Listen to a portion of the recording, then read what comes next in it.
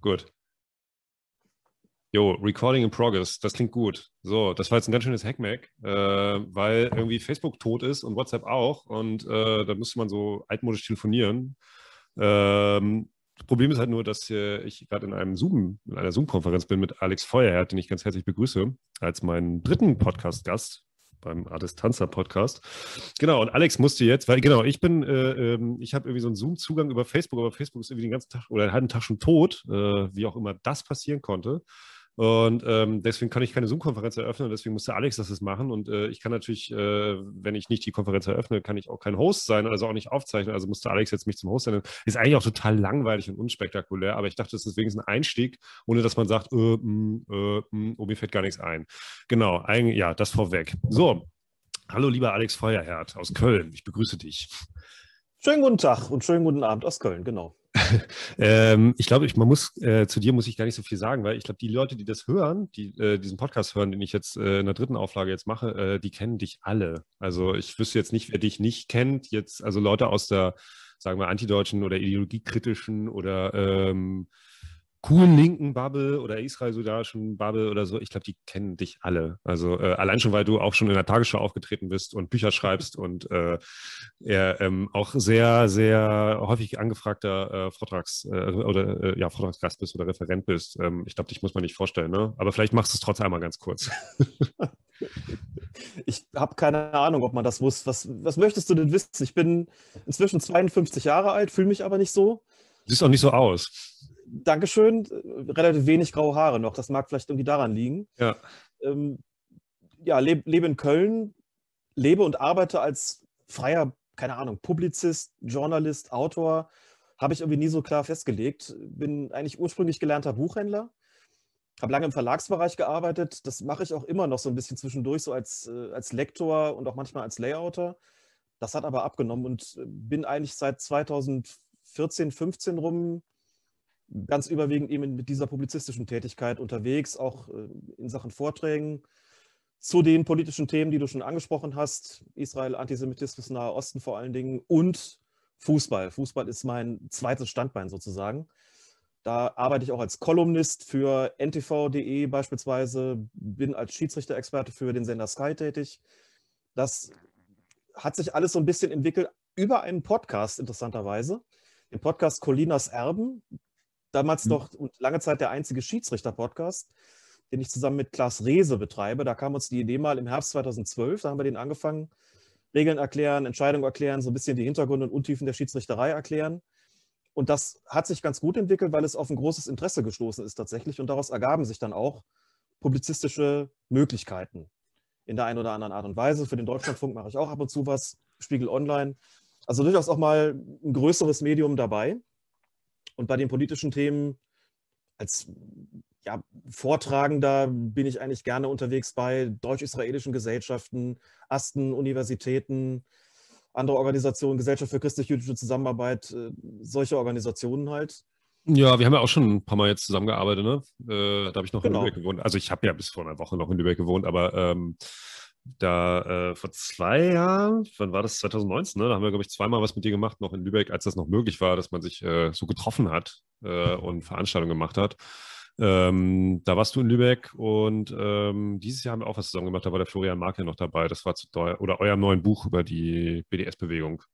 Genau, also genau. wir kennen das auch schon ein bisschen länger und haben auch schon äh, auch ein paar Mal Papier zusammen getrunken, immer nach Veranstaltungen und äh, haben da auch ein bisschen gequatscht und Genau, und haben immer mal so regelmäßigen Kontakt und äh, machen bald auch wieder was. Ist übrigens, äh, ja, ist mehr oder weniger genehmigt, der 8. November. Genau. Also da äh, äh, wird Alex wieder eingeladen von, eine, von, einer Stiftung, für die ich viel arbeite als Freiberufler und äh, ich mache die Moderation und ähm, genau, 8. November. Können sich alle schon mal vormerken. Ist, ähm, dann kennst du das Freiberuflertum ja auch. Ich kenne das, ja, ich kenne das mit all seinen Vor- und Nachteilen, ja, genau. Mhm. Ähm, deswegen ist ein zweites Standbein immer ganz gut. Äh, ich bin aber jetzt, wie gesagt, ganz frisch umgezogen und äh, habe hier nur ein Standbein, wobei ich ja das Glück habe, dass ich ja für eine Stiftung arbeite, die es bundesweit gibt und ich für äh, diverse Länderbüros halt arbeite und die zahlen halt auch ganz gut. Und ähm, aber ich brauche hier auf jeden Fall vor Ort wieder ein zweites Standbein. Also ich kann ja auch noch viel über Zoom machen, deswegen kann ich auch in Leipzig weiter auch für das Ham Hamburger äh, Lokalbüro halt arbeiten, das Norddeutsche oder für die in Bayern oder in Niedersachsen. Aber Ähm, mal gucken. Äh, ich finde eigentlich bin ich, ich war immer lange so ein bisschen so, ja, so ein konservativer Mäkler, dass ich ihm gesagt habe, nee, Zoom und das ist alles scheiße und ich will das eigentlich gar nicht. Präsenz ist einfach viel schöner und ich mag das soziale Miteinander. Ich muss aber einfach aus monetärer Sicht sagen, doch hoffentlich besteht das noch möglichst lange, diese Zoom-Geschichten, ähm, weil das rettet mir gerade, das sichert mir gerade mein Überleben, äh, weil ich, wie gesagt, in eine Stadt gezogen bin, wo ich als Freiberufler erstmal wieder bei Null anfangen oder quasi bei Null anfangen muss egal, das sind auch ein bisschen too much information aus meinem Privatleben. Ähm, genau, also es wird schon irgendwie laufen. Ja, genau. Aber wir beide arbeiten auf jeden Fall immer wieder zusammen. Das ist halt, dafür bin ich halt immer, das ist immer angenehm, wenn man so privates, also politisches Interesse, was man privat hat, mit der Arbeit verbinden kann. Und das kennst du ja auch. So, hat auf jeden Fall seine Vor- und seine Nachteile. Wie, ich finde das gar nicht kein schlechter Einstieg vielleicht, ähm, weil ähm, eigentlich ist ja die Verbindung von privatem Interesse und Arbeit ja oft auch eher, also ich finde, das kann auf jeden Fall echt krasse Nachteile haben. Aber kann natürlich auch geil sein. Wie siehst du das? Du hast ja wahrscheinlich eigentlich äh, deine Interessen. Du bist irgendwie Schiedsrichter und du bist Fußballfan äh, und du bist halt irgendwie, kommst aus der linken antideutschen Szene irgendwie, bist da, keine Ahnung, seit wie vielen Jahrzehnten mittlerweile dabei und machst ja mit beiden halt, hast, beides hast du irgendwie zum Beruf gemacht. Also eigentlich kann man sagen, du lebst deinen Traum oder nervt dich das manchmal, dass du eigentlich das gar nicht trennen kannst zwischen Arbeit und Privat. Also du hast nicht deine 8 bis 17 Uhr im Büro, machst dann Feierabend und hast den Kopf dann frei und machst dann, was du willst, sondern du hast ja eigentlich immer. Also du beschäftigst dich privat mit dem, was du beruflich machst. So. Das lässt ähm, sich tatsächlich überhaupt nicht voneinander trennen und das ist tatsächlich auch Fluch und Segen gleichermaßen. Ich habe 2007 beschlossen, da hatte ich nämlich bis dahin tatsächlich diese, dieses Modell 9 to 5 im Büro, in einem Verlagsbüro damals und habe dann irgendwann überlegt, okay, willst du das wirklich dein restliches Leben machen? Mhm. Oder möchtest du es nicht mal versuchen auf der freiberuflichen Ebene, wobei der Gedanke erstmal war, ich mache was im, eben im Verlagsbereich als Lektor, als Layouter. Da war so ein bisschen die Idee, man gibt mir ein Manuskript und ich erledige sozusagen alles weitere. Ich lektoriere das, ich mache das Layout, ich mache die Druckabwicklung. Das hat als Geschäftsmodell aber nur so leidlich gut funktioniert, aber es hat so halbwegs mich tragen können, mich finanzieren können. Das Schreiben und Vortragen war da auch schon dabei, hatte aber durchaus ein geringeres Ausmaß. Ähm, die Freiheit, die man dann hat, dann auch quasi keinen Chef und keine Chefin zu haben, erkauft man sich aber natürlich und natürlich vor allen Dingen, das, das ist ganz, ganz wichtig dabei, das ist gerade schon angesprochen, ich mache halt das tatsächlich, oder ich lebe davon, was mir Spaß macht. Und das ist eine sehr, sehr schöne Sache.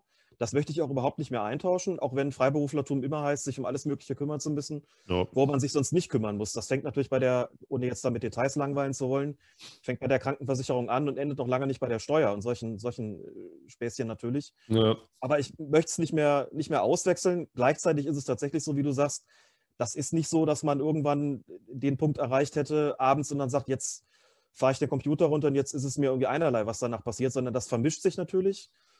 Selbst wenn ich irgendwie twittere, könnte ich gar nicht so genau sagen, ist das jetzt noch privat oder ist das schon beruflich? Das ist so klar nicht voneinander zu trennen, eben weil sich das massiv überschneidet und weil da meine persönlichen und politischen Interessen mit den beruflichen einhergehen. Und das gibt schon Tage, wo ich manchmal denke, boah, so, so ein simpler Lohnarbeitsjob wäre doch irgendwie auch mal wieder ganz, ganz nett. Dann äh, könntest du das irgendwie stärker voneinander trennen. Das funktioniert so nicht. Und das ist oft total nett, dass es so ist und manchmal auch nicht. Und noch ein letzter Punkt dazu, wenn man zwei sehr unterschiedliche Themen hat, wie das Politische auf der einen Seite mit solchen Themen wie Israel und Antisemitismus und Nahe Osten und auf der anderen Seite Fußball, ist es manchmal gar nicht so einfach, vom einen zum anderen zu springen. Das schon erlebt, da passiert irgendwie weltpolitisch Bewegendes und ich muss irgendeine Fußballkolumne schreiben.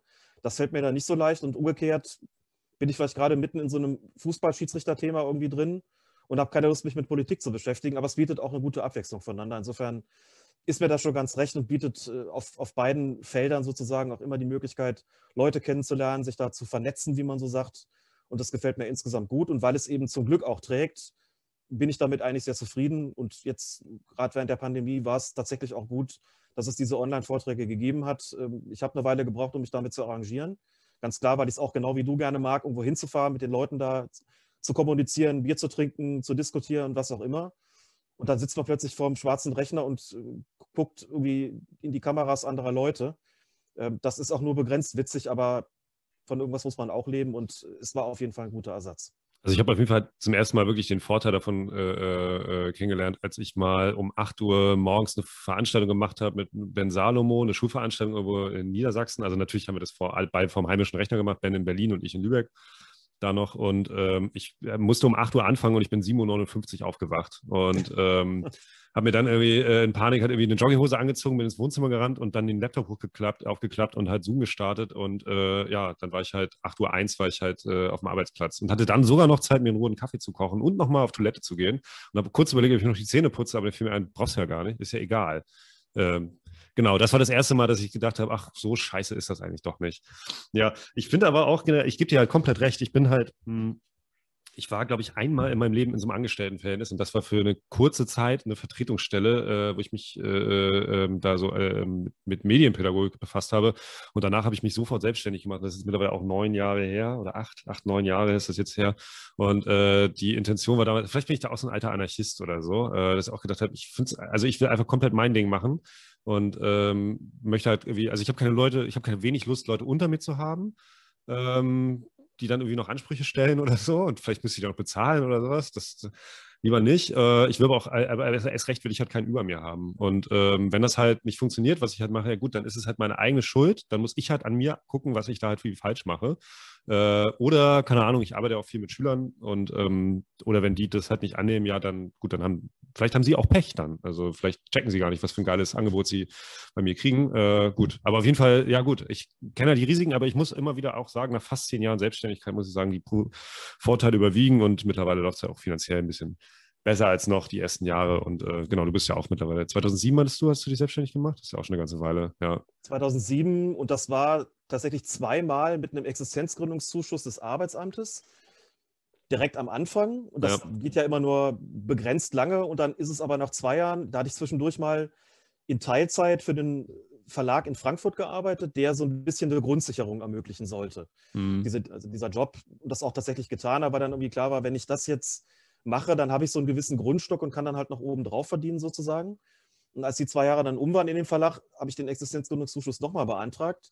Und da ging es dann im Prinzip erst richtig los. Und dann war dann irgendwann auch klar, jetzt gibt es halt keine staatlichen Hilfen mehr. Und seit 2000, jetzt muss ich überlegen, ich glaube 2011 bin ich quasi zuschussfrei ja. und muss dann davon leben, was ich selbst erwirtschafte.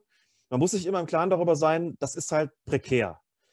Wenn ich, solange ich irgendwie im politischen Bereich vielleicht Publikationsmöglichkeiten habe. Bei mir ist das neben Jungle World konkret beispielsweise sind das halt MENA Watch und Audiato Online in der Schweiz. Das ist so ein bisschen das Pendant von MENA Watch. Also im Grunde hochspezialisierte Webportale. Solange die sagen, wir haben Interesse an deinen Texten, wir möchten, dass du regelmäßig was für uns machst, solange ich auch auf der Fußballseite die entsprechenden Tätigkeiten habe. Wie gesagt, momentan läuft das alles ziemlich prima. Die Tätigkeit für Sky, für ntv.de schon seit vielen Jahren, schon seit 2014 mit der Kolumne ähm, auch noch für 1 und 1 nochmal eine, eine leicht veränderte, abgespeckte Version dieser Schiedsrichterkolumne. Solange das nachgefragt wird und solange es auch Bedarf an Vorträgen beispielsweise gibt, ist das prima und dann ist es soweit wirklich auch in Ordnung. Ich kann mich überhaupt nicht beschweren. Aber man muss sich immer auch im Klaren darüber sein, das muss nicht für die Ewigkeit sein. Vielleicht haben die Leute irgendwann keine Lust mehr auf einen oder kein Geld mehr, was auch immer, kein Bedarf. Also das äh, ist auch ständig so, dass man sich im Klaren darüber sein muss, da musst du schon auch nach wie vor Ausschau danach halten, was eben ist, wenn das mal nicht mehr ist. So. Und, äh, ja, und ich stelle mir vor allem so, also gerade bei so, also ich glaube, bei, bei Fußballthemen ist das ja sehr unverfäng, unverfänglich so. Äh, ähm, ich, also wie gesagt, ich habe keine Ahnung von Fußball. Äh, aber ich könnte mir vorstellen, dass jetzt so, ich habe auch noch, glaube ich, noch nie deinen Fußball-Podcast gehört und höre auch keine Fußball, lese auch keine Fußballkolumne von dir. Einfach nicht, weil ich dich nicht mag, Alex, sondern einfach, weil ich mit Fußball einfach überhaupt nichts anfangen kann. Das letzte Mal, dass ich Fußballfan war, da war ich ein Kind. Da war ich Borussia Dortmund-Fan in den 90er Jahren. Wahrscheinlich wie alle Zehnjährigen in den 90er Jahren, weil äh, Dortmund da zweimal in Folge Meister geworden ist. Wahrscheinlich waren da alle, alle acht bis zehnjährige Jungs waren mit BVB-Fans. Äh, danach bin ich ab und zu mal zu VfB Lübeck spielen gegangen und später natürlich als Linker musste man natürlich auch immer zu Pauli spielen gehen, wobei ich nur zu den Krisenspielen gegangen bin gegen Ostvereine, weil es war klar, da knallt es halt jedes Mal. Äh, ansonsten habe ich im Fußball eigentlich nie wieder danach was am Hut gehabt und ähm, ja, guckt auch nicht mal WM oder EM. Ähm, ist auch vollkommen legitim, muss man ja auch überhaupt nicht. Ja, genau. Aber ich finde es auch legitim. Also ich, auf jeden Fall freue ich mich immer, äh, äh, äh, wenn ich halt sehe, dass du Bayern München-Fan bist, einfach weil alle Bayern hassen. Und bei mir, jetzt, wo ich hier jetzt in, äh, in Leipzig wohne, ist halt das Stadion von RB Leipzig halt direkt um die Ecke. Und alle hassen RB Leipzig. Ich glaube, RB Leipzig ist noch verhasster als der, als der FC Bayern München. Ähm, und irgendwie, da habe ich einfach so ein Grundbedürfnis, ich mag die Vereine automatisch, einfach weil alle sie hassen und alle, weil sich da alle hinstellen und sagen, hier äh, against the modern football, wo ich mir immer frage, welche Schalke 04 Ultras oder Bayer Leverkusen Ultras, äh, keine Ahnung, ist, äh, Also was verkörpert euer Verein jetzt, was irgendwie jetzt, also gut, es ist halt kein Retortenverein wie RB, aber so what. Ist ja auch egal, anstatt dass die Ossis mal froh sind, dass sie mal wieder ein ostdeutscher Verein erstklassig spielt und guten Fußball spielt, wird halt rumgemeckert. So. Und ich glaube halt, die Fans von RB Leipzig sind, glaube ich, die friedlichsten und harmlosesten, die es in der Bundesliga gibt. So. Ähm, ich wollte aber eigentlich auf was anderes hinaus. Total den Faden verloren. Ach so, genau, genau. Ich, äh, genau, also wie gesagt, ich glaube halt, dass diese Fußballgeschichten, die du machst, unverfänglicher sind und da wirst du, glaube ich, jetzt, die Chance, dass du da gecancelt wirst, ist wahrscheinlich sehr, sehr gering. Bei politischen Themen, gerade bei den Themen Nahostkonflikt Israel und gerade wenn man du, wenn jemand wie du auch eine ziemlich klare ähm, Haltung dazu hat. Ähm, und ähm, es ist auf jeden Fall schwieriger. Also ich weiß auf jeden Fall, wenn wir, also die Stiftung, äh, Vorträge mit dir veranstaltet haben, gibt es immer so äh, beleidigte, wütende Mails von irgendeiner merkwürdigen Frau aus München. Ich glaube, die hat auch irgendwie, also ich glaube nicht, dass du ihr Problem ist. Ich glaube, die hat irgendwie, muss irgendwas anderes kompensieren. Und die schreibt jedes Mal die Stiftung wütend an, was du denn, ich weiß nicht, was sie da für Begriffe in den Mund nimmt. Irgendwie so, keine Ahnung. Auf jeden Fall bist du ein zionistisches Arschloch und äh, weiß nicht, ob sie das so gesagt hat, aber auf jeden Fall mag sie dich nicht und warnt immer vor dir. Äh, und das kann natürlich auch noch, äh, du kannst bestimmt noch ganz viele andere Geschichten erzählen. Vielleicht können wir das nachher nochmal machen wo es noch weitaus wilder hergeht oder herging. Äh, aber ähm, das Risiko ist ja auf jeden Fall immer da, dass man dann halt gecancelt wird, wenn man halt irgendwie zu Themen, die ja irgendwie als kontrovers gelten, äh, eine klare äh, Haltung oder klare Position halt bezieht. Also eine bekannte Familie, die ähm, Naida Pintul, ich weiß nicht, ob du die kennst, die äh, macht auch Vorträge ähm, und die ist auch, also gilt ja auch irgendwie als umstritten, obwohl ich finde, die sagt und schreibt halt durchaus richtige und gute Dinge. Ähm, ähm, und die hat aber einfach keinen Bock darauf, dass halt sie irgendwie dieses Risiko eingehen muss, von Vorträgen äh, zu leben zu müssen. Und dann, wenn die ja halt permanent gecancelt werden oder unmöglich gemacht werden, schon im Vorfeld, ja, dann ist halt deine Existenzgrundlage halt weg. Und deswegen hat die einen ganz normalen Job. Aber, äh, wo sie ganz normal Geld verdient und sich das dann halt leisten kann, halt auch solche Vorträge zu machen. Und ähm, ja, also da sehe ich es halt auch so. Also wie ist denn da deine Erfahrung mit, äh, also wie gesagt, irgendwelche wütenden Mails von irgendwelchen äh, verwirrten Frau aus München sind ja noch harmlos, aber du hast bestimmt auch Du machst das ja auch schon relativ lange mit den Vorträgen, ne? Also wahrscheinlich auch noch aus Zeiten, äh, wo du noch gar kein Geld damit verdient hast, sondern weil du, wo du da einfach irgendwie eine Gruppe warst und ähm, halt irgendwie Vorträge gehalten hast in den 2000 oder so. Das würde mich mal interessieren, wie du da wie so deine Erfahrungen da waren oder sind. Also das mit dem gecancelt werden war jetzt eigentlich dann doch zumeist ein geringeres Problem, denn diejenigen, die mich einladen, wissen ja, warum sie das tun. Das kann dann natürlich passieren, dass es dann trotzdem einen Protest dagegen gibt. Ne? Das, du hast es ja gerade schon gesagt, dass es dann Leute gibt, wenn man jetzt eine, von der Stiftung eingeladen wird, die dann sehen, da kommt einer, der vertritt aus, aus deren Sicht dann strittige oder falsche Thesen, dass dann Leute sagen, äh, das wollen wir nicht, dass der da ist.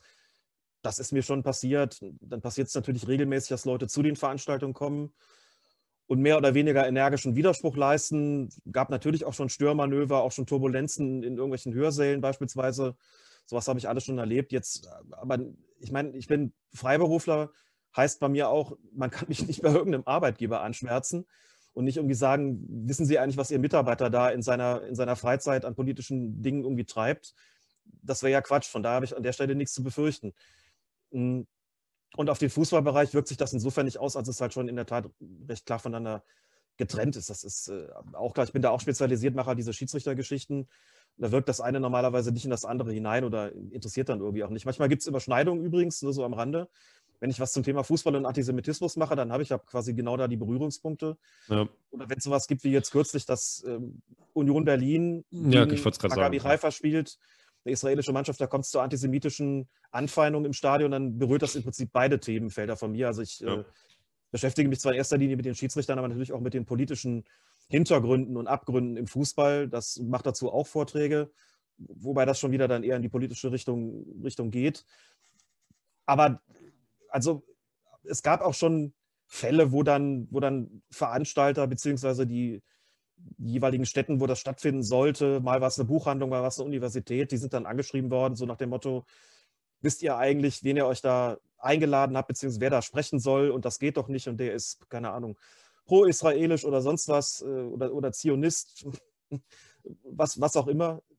Also, aber es hielt sich eigentlich immer in Grenzen. Also ich kann damit umgehen, auch auf Veranstaltungen, wenn ich irgendwie weiß, ich bin in irgendeiner Stadt, wo es gerade Kontroversen gibt, wo es zum Beispiel eine starke anti-israelische Szene gibt, dass ich kann damit leben und weiß auch, was da passieren kann, wenn die Leute kommen. Ich bin es gewohnt im Netz auch, also auch bei der Schiedsrichterthematik ist das, auch wenn das ein völlig anderes Feld ist, ja so, da lernt man auch mit Anfeindungen umzugehen, übrigens auch schon als Schiedsrichter auf dem Platz und muss das irgendwie moderieren und damit, äh, damit, damit fertig werden.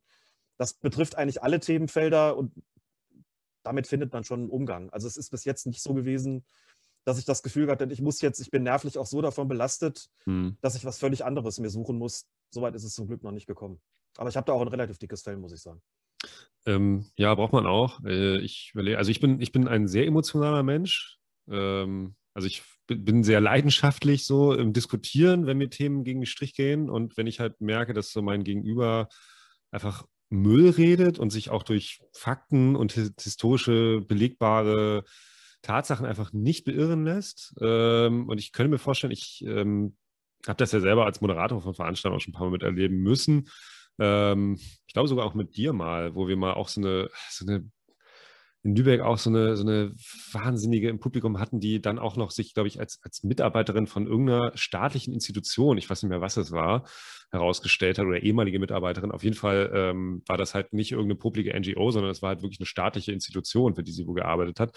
Und die hat, äh, ähm, also entgegen, also wo man gedacht hat, wo war die jetzt eigentlich die ganze Stunde, die du referiert hast? Wo, also irgendwie, solche Leute kommen halt nur dahin, irgendwie, um ihre eigene Sicht der Dinge zu erzählen. Äh, und da fiel es mir auch wirklich schwer, äh, da dann irgendwie nicht emotional zu werden. Also ja, also ich. Ja gut, man ja. hat als, als, als Referent natürlich immer eine exponierte Position. Das bedeutet, und da gehen auch unterschiedliche Referenten und Referentinnen auch sehr unterschiedlich mit um natürlich. Was ist, wenn aus dem Publikum wirklich, wirklich massive Angriffe kommen? Ich rede jetzt nicht von körperlichen Übergriffen, das lassen wir mal beiseite, sondern wirklich auf eine Art und Weise, dass man sagt, das ist jetzt eigentlich schon ein Überschreiten der Schwelle des Sagbaren. Wie verfahre ich jetzt eigentlich damit? Das entscheide ich auch relativ situativ. Mal ist es tatsächlich so, und das ist eigentlich am häufigsten der Fall, es sind ja noch andere Leute im Publikum. Und man kann immer auch im Widerspruch gegen noch die absurdesten Positionen vielleicht Leute von irgendwas überzeugen und sei es nur, dass das, was das Gegenüber da gerade sagt, völliger Unfug ist. Also habe eigentlich, bin eigentlich immer ganz gut damit gefahren, vergleichsweise sachlich zu widersprechen. Schon, also ich versuche dann natürlich schon in der Sache und inhaltlich deutlich und präzise zu bleiben und auch klar und auch mal scharf, aber in der Form der Vermittlung durchaus da ruhig zu bleiben, das entspricht meinem Naturell, glaube ich, auch tatsächlich am, am ehesten. Ich kann schon auch emotional werden, mich ärgern Dinge auch, aber ich ähm, habe da, glaube ich, schon das relativ gut unter Kontrolle, weiß halt auch als Referent, sollte man sich da schon zusammenreißen, selbst wenn es irgendwie mal schwerfällt. Aber es gibt sicherlich auch Situationen, wo man sagt, Entschuldigung, darauf kann und will ich jetzt nichts antworten. Das halte ich für buchstäblich indiskutabel. Möchte jetzt auch nicht durch eine ausführliche Antwort dem Ganzen sozusagen den, den Rang des Sagbaren und Diskutablen verleihen. Und deswegen bleibe ich die Antwort an der Stelle schuldig. Das ist natürlich auch schon passiert. Ich habe schon erlebt bei Veranstaltungen, dass die Hälfte des Publikums vollkommen aufgebracht war, weil vielleicht in der Stadt gerade irgendwelche Auseinandersetzungen tobten und das dann gar nicht so einfach war. Aber dann hat man immer Leute, die auch sagen, gut, wir sind jetzt dem Referenten dankbar, dass er hier Position bezieht. Das hilft und nützt uns auch an der Stelle. Es gibt immer auch im Publikum oder zumindest meistens Leute, die unsicher sind, die vielleicht auf einer Positionssuche sind, ich glaube, die erreicht man eher nicht damit, wenn man jetzt selber anfängt rumzubrüllen. Wobei ich eine gute Polemik sehr schätze und sehr gerne lese, bin aber nicht unbedingt derjenige, der sie auch verfassen kann oder auch vortragen kann.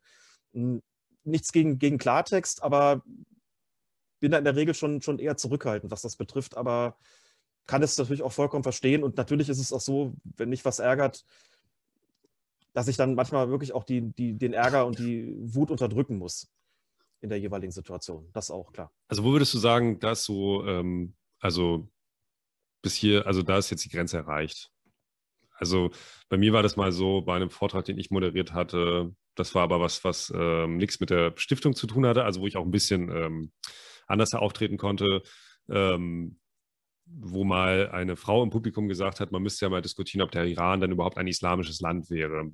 So, also das war, ging schon die ganze Zeit um so eine Islamrelativierung und das ist alles gar nicht der wahre Islam und äh, also man kennt dieses ganze Quatsch ja. Und dann ging das irgendwann wirklich dann, also auf meine These, dass im Iran halt irgendwie Schwule an Baukränen aufgehängt werden und äh, wie Frauen dort wegen Ehebruch irgendwie äh, übelste Strafen erwarten und Demonstranten, äh, äh, naja, also muss, muss man, man muss es nicht weiter erläutern, was im Iran halt irgendwie alles abgeht.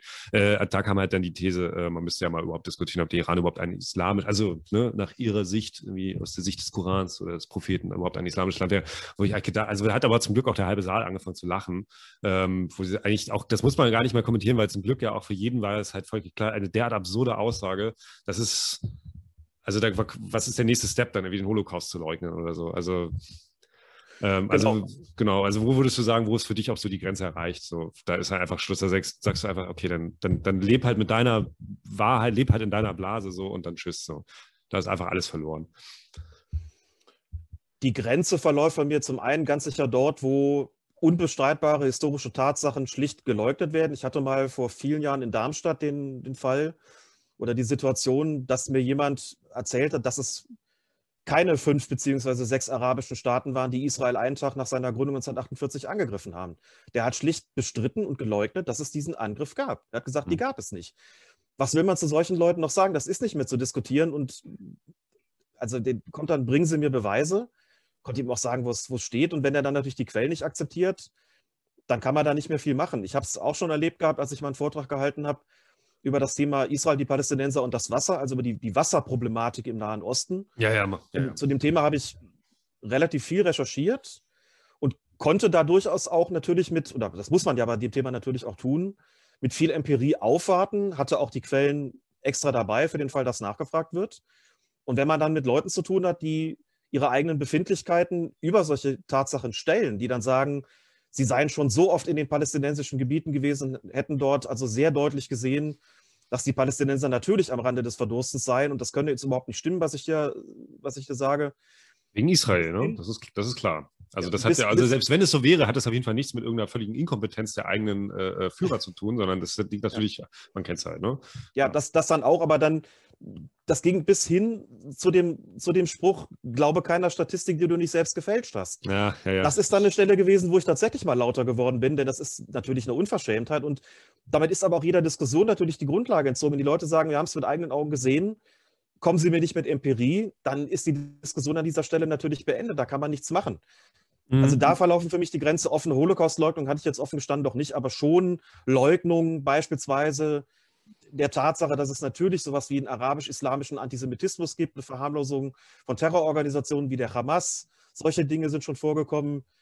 Also gerade so der, der große Bereich des israelbezogenen Antisemitismus, da kommt schon relativ viel und da kann ich gar nicht so genau sagen, wo ich jetzt die Grenze ziehen würde dahingehend, dass ich antworten würde, da ist für mich jetzt die Diskussion beendet. Also meistens versuche ich dann noch auf der Ebene einerseits der Tatsachen, muss aber immer auch klar sagen, den Leuten sozusagen vor Augen führen, worauf ihre vermeintliche oder tatsächliche Argumentation, die sie da vorbringen, eigentlich hinausläuft. Dass man sagt, wenn wir jetzt hier aber die Tatsachen doch klar auf dem Tisch liegen haben, dann geht man ja sozusagen über in die ideologiekritische Perspektive und sagt dann, dann muss man sich ja die Frage stellen, wenn das geleugnet wird, wenn das bestritten wird, wenn also, um ein Beispiel zu nennen, wenn es sich klar widerlegen lässt, dass die Israelis die Palästinenser an den Rand des Verdurstens bringen, wenn man klar nachweisen kann, das ist so nicht, aber diese Behauptung aufrechterhalten wird, dann muss man ja sagen, warum behaupten Sie das denn, wenn das Gegenteil evident ist? Dann hat das natürlich einen ideologischen Hintergrund. Da sind wir natürlich beim Antisemitismus angelangt und dann sage ich natürlich auch, Sie mögen subjektiv kein Antisemit oder keine Antisemitin sein, ich erinnere auch an die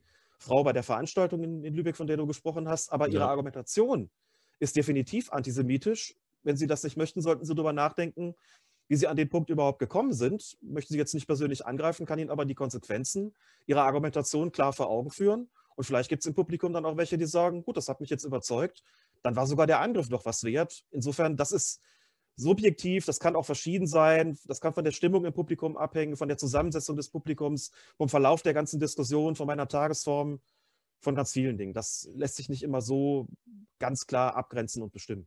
Ich finde es aber immer so geil, wenn du das halt sagst, äh, mit diesem, äh, äh wir waren ja da und wir haben es ja gesehen und äh, ähm, genau, und diese, ähm, also, ne, ist ja eh alles äh, gefälschte Statistik.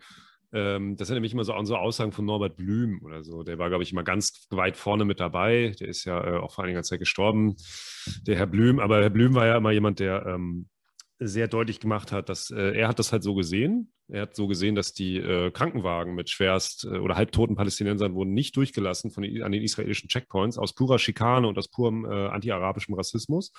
Und äh, so ist das halt. Und so, äh, ähm, ja, genau. Also es ist, das ist, weiß nicht, ob das Norbert Blüm diese Schule so geprägt also keine Ahnung, es ist halt auch wirklich Wahnsinn, Wahnsinn. Ich habe mal von Tuvia Tenbohm dieses Allein unter Judenbuch gelesen. Das ist sehr gut. Das würde ich auch jedem empfehlen. Es ist meiner Meinung nach 100 Seiten zu lang, aber es ist äh, ein super Buch, äh, wenn man mal so ein bisschen Einblick haben will in diese ganze NG, in dieses ganze NGO-Unwesen, was sich so in Israel und in den palästinensischen Autonomiegebieten rumtreibt, äh, was ganz massiv aus Deutschland äh, gerade kommt und ganz massiv von EU-Geldern finanziert wird.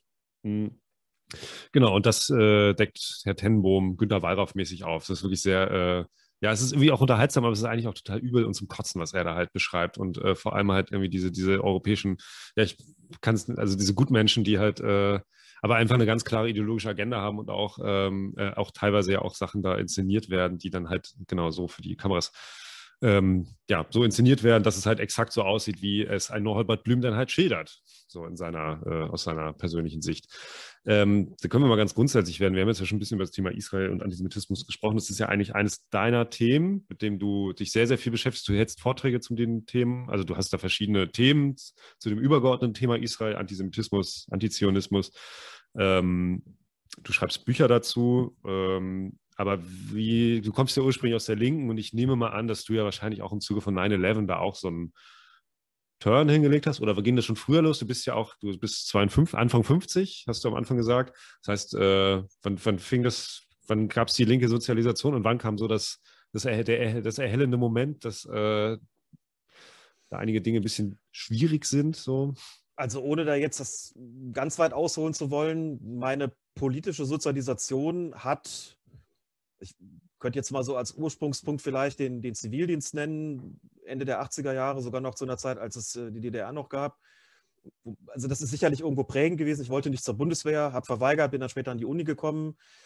Da bahnte sich gerade der Golfkrieg an, der dann 1991 auch äh, stattfinden sollte. Da bin ich auf die Straße gegangen, habe damals schwere Battles mit meinem Vater ausgetragen, der gesagt hat, ihr geht für Saddam Hussein auf die Straße. Ey, Vater, guter Mann, ey, guter Mann, das, wirklich. Lebt seit 2009 nicht mehr und wir haben schon auch äh, an vielen anderen Stellen, ja, später ist er dann wirklich zum Anti-Amerikaner geworden. Schade. Im höheren Alter, da war man dann wieder auf unterschiedlichen Seiten, aber das habe ich nicht so gesehen und ich hatte in der Schule einen Israel-Austausch, das, das, war Ende der 80er Jahre, mein Vater sagte, ist dir schon klar, dass die, deine Freunde in Israel jetzt mit der Gasmaske im Keller sitzen, weil die Giftgasangriffe von Saddam Hussein drohen. Und ich habe ihm gesagt, ja, das weiß ich. Und ich gehe natürlich nicht für Saddam auf die Straße. Ich glaube bloß nicht, dass der Krieg die Lösung ist. Und woher kommt das Giftgas? Aus Deutschland. Also so ungefähr musst du dir die Debatten vorstellen. Aber das mhm. wird jetzt zu lang, wenn ich das alles schildere. Es ist dann wei weitergegangen über die Angriffe auf die Flüchtlingsheime Anfang der 90er Jahre. Also da stehen ja symbolisch solche oder stellvertretend solche, nicht symbolisch, sondern stellvertretend äh, solche Städtenamen wie Hoyerswerda, Rostock, Mölln, Solingen ja. und so weiter dafür. Das hat mich extrem ähm, betroffen damals, habe mich, also ich bin damals dann auch irgendwann tatsächlich, wir haben Anfang der 90er, ich glaube 93 war es, an der Uni eine völlig neue Gruppe mal gegründet, mit lauter Leuten, die Lust hatten, Politik zu machen, was Antifaschistisches zu machen. Gerade auch vor dem Hintergrund dieser Erfahrung mit den Angriffen auf die Flüchtlingsheime und erstarkenden Neonazismus, sind dann irgendwann geschlossen als Gruppe in die damalige Bonner Antifa eingetreten. Und da war ich in den 90er Jahren schon sehr aktiv. Zum einen wie es eine Antifa halt so macht, Kampf gegen Neonazis. Zum anderen aber schon auch Beschäftigung mit politischer Theorie, mit dem Marxismus beispielsweise, Kapitalismuskritik, alles, was dazugehört. Palästina-Solidaritätsarbeit habe ich tatsächlich nie gemacht, aber ich habe mich lange Zeit, ehrlich gesagt, auch gar nicht so sehr daran gestoßen. Irgendwie gehörte das so dazu. Ich habe mich erstmal nur gewundert und es hat mich irritiert, mit welcher Werf in dieser Linken ausgerechnet über Israel hergezogen wird. Und meine persönlichen Erfahrungen über den Schüleraustausch waren ja nun mal auch völlig andere, aber es hat mich eben lange Zeit nur irritiert, aber es hat noch nicht dazu geführt, dass ich, sage mal, Verdacht geschöpft hätte, dass da irgendwo auch ein antisemitischer Antrieb dabei sein könnte. Das ist dann tatsächlich im Laufe der 90er Jahre schon ziemlich anders geworden. Zum einen war ich tatsächlich auch mehr oder weniger Bahamas Leser der ersten Stunde. Zum anderen hat sich dann eigentlich schon, weil du 9-11 erwähnt hast, schon ein bisschen vorher was, was getan, nämlich mit Beginn der zweiten Intifada und den entsprechenden Solidaritätsbekundungen auch in Deutschland. Da ist mir schon, und der mehr als nur beginnenden innerlinken Auseinandersetzung auch um solche, solche Sachen, da ist mir schon irgendwo klar geworden, hier stimmt was ganz grundsätzlich nicht. Da kann ich überhaupt nicht, also da kann ich das, was in der Linken irgendwie selbstverständlich war, das kann ich überhaupt nicht mehr mittragen. Ist sicherlich auch nochmal geschärft von, von Konkret, von der Zeitschrift Konkret, die ja schon beim Golfkrieg Anfang der 90er Jahre eine klare Position für Israel bezogen haben. Damals ein ja. totaler Tabubuch in der Linken. Das muss man dadurch ganz klar sagen. Das habe ich ja auch schon alles mitbekommen, das habe ich schon alles gelesen. Das war mir in gewisser Weise auch schon vertraut. Aber zweite Intifada mit ihren ganzen Selbstmordattentaten, das hat dann schon endgültig auch so diesen Turn, diese Zuwendung in Richtung antideutsche Strukturen gebracht. Und dazu kam noch die Beschäftigung mit der Geschichte der historischen KPD, also der Kommunistischen Partei Deutschlands. Ja. Wir waren ein Autoren, Crew von fünf Leuten, die versucht hat, diese Geschichte der KPD lesbar aufzubereiten für Leute gerade in der Linken, die sich dafür interessieren.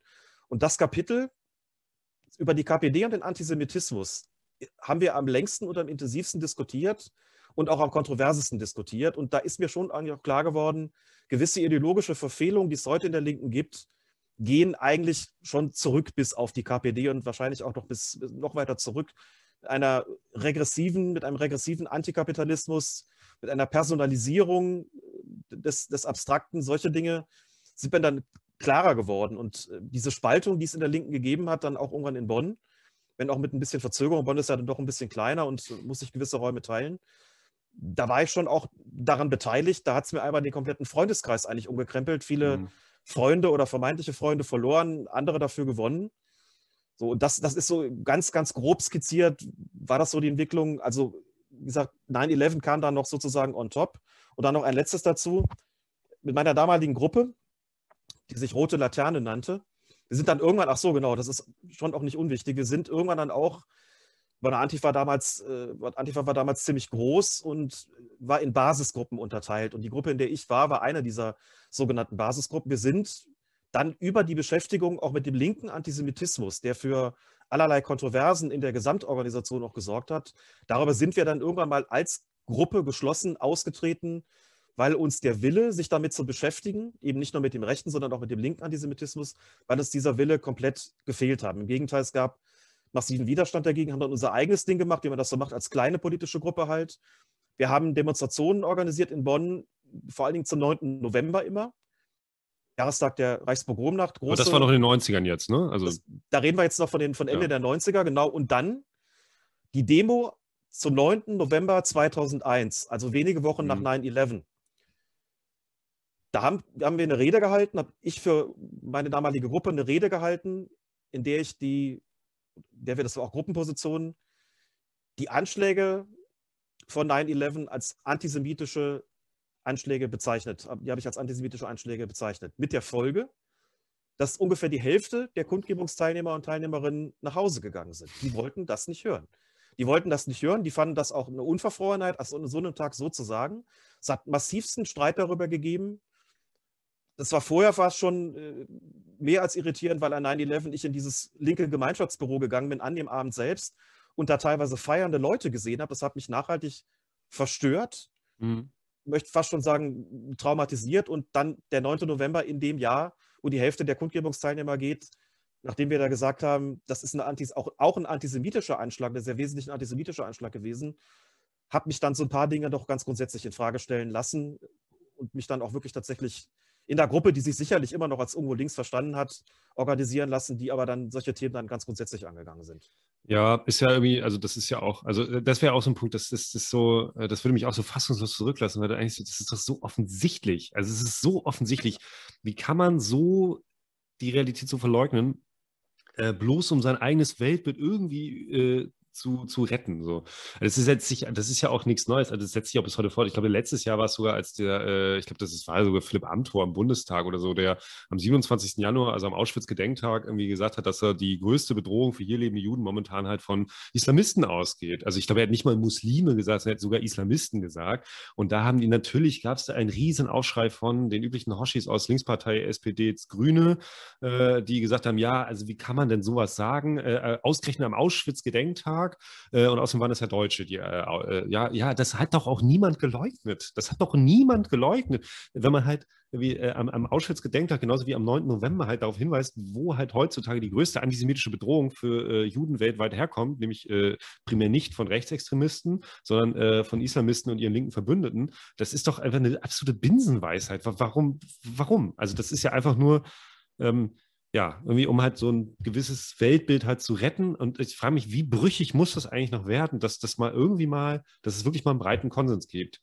Ach, ich will jetzt gar nicht mit dem Thema Islam wieder anfangen. Wir haben heute, heute vor einem Jahr, also wir nehmen den Podcast ja am 4. Oktober auf. Veröffentlicht wird er hoffentlich am 5. oder 6.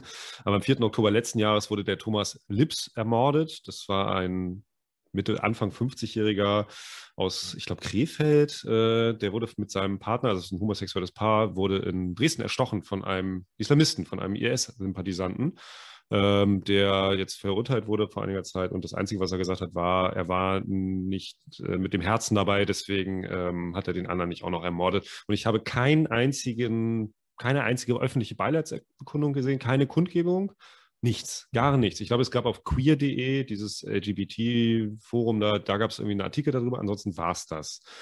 Ja, genau. Aber ich das war jetzt nur so ganz kurz, das äh, macht mich traurig und äh, das jetzt ist ja auch irgendwie genauso wie 9-11. Man darf, man kann um Gottes Himmels Willen bloß nicht abkommen von der damals ja wahrscheinlich auch in der Linken vorherrschenden äh, ähm, Lüge, dass halt 9-11, dass das ja eigentlich die Anschläge der Verdammten der Erde waren und ohne die Politik der USA, ohne die Arroganz der Imperialisten wäre das gar nicht passiert. Ich kann mich noch gut daran erinnern, da war ich in 2001, als 9-11 passiert ist, war ich ein 13-jähriger kleiner Punker. Äh, mit schlecht blondierten Haaren und Ärzte-T-Shirt und Chucks irgendwie ohne Schnürsenkel. Und meine beste Freundin damals, die war mit 16, 16 und die war schon in der Lübecker Antifa.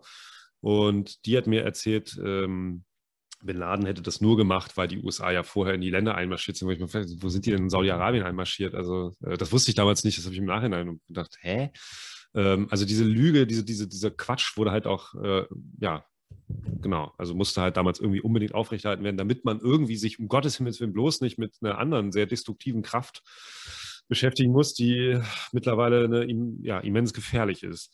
Ähm, ja, ich glaube, man muss an der Stelle vielleicht doch noch ein, zwei Sätze, man muss halt bestimmte Widersprüche und bestimmte Tatsachen einfach auch aushalten können. Also es ist schon, natürlich ist es klar, wenn man über das Thema Islamismus spricht und über den Antisemitismus, der darin aufgehoben ist und der ein sehr wesentliches, sehr, sehr wesentlicher Bestandteil ist. Du hast es gerade schon gesagt, also das, das jüdische Leben ist weltweit derzeit sicherlich wesentlich stärker von Islamisten bedroht als von Rechtsextremisten. So, das, das, ist halt eine Tatsache. Das bringt halt auch nicht so viel, das, das wegzuleugnen. Da muss man sich Gedanken darüber machen, okay, wie, wie geht man damit um?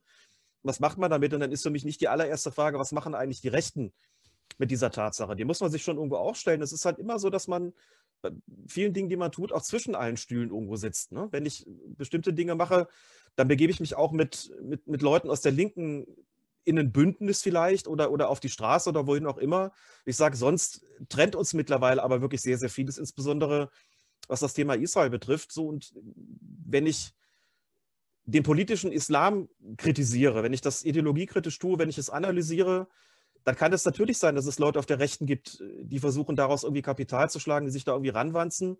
Ich glaube, man kann in der Klarheit der Argumentation immer sehr, sehr deutlich machen, dass man auf deren Seite nicht steht, dass man sie ablehnt und was auch immer, aber das, das geht nicht, indem man simple Tatsachen, simple Fakten leugnet. Und das geschieht auch der eigenen Befindlichkeit willen tatsächlich äh, viel zu häufig. So war das an 9-11 letzten Endes irgendwo auch schon. Und ich glaube, dieser Tatsache muss man einfach ins, ins Auge sehen. Und es gibt leider, muss ich sagen, auch wenn jetzt vor ein paar Monaten durch, durch Sascha Lobe und Kevin Kühnert ja auch nochmal so eine Islamdebatte in der Linken sozusagen angestoßen werden sollte, die aber, glaube ich, auch so dann wieder so ein bisschen veräppt ist. Es gibt, glaube ich, einfach keine wirklich nennenswerten und relevanten großen Kräfte, die sagen, wir wollen eine, eine universalistische Position annehmen. Also in solchen Zeitschriften wie der Jungle World ist das ganz sicherlich der Fall, aber das ist halt dann doch insgesamt eher, eher marginal, muss man, glaube ich, muss man, glaube ich, sagen. Es gibt keine wirklich relevante linke Kraft, die sich das auch zu eigen macht und im Sinne der Emanzipation auch dagegen aufbegehrt und sagt, natürlich gegen jeden Antisemitismus, auch gegen den islamischen oder islamistischen Antisemitismus.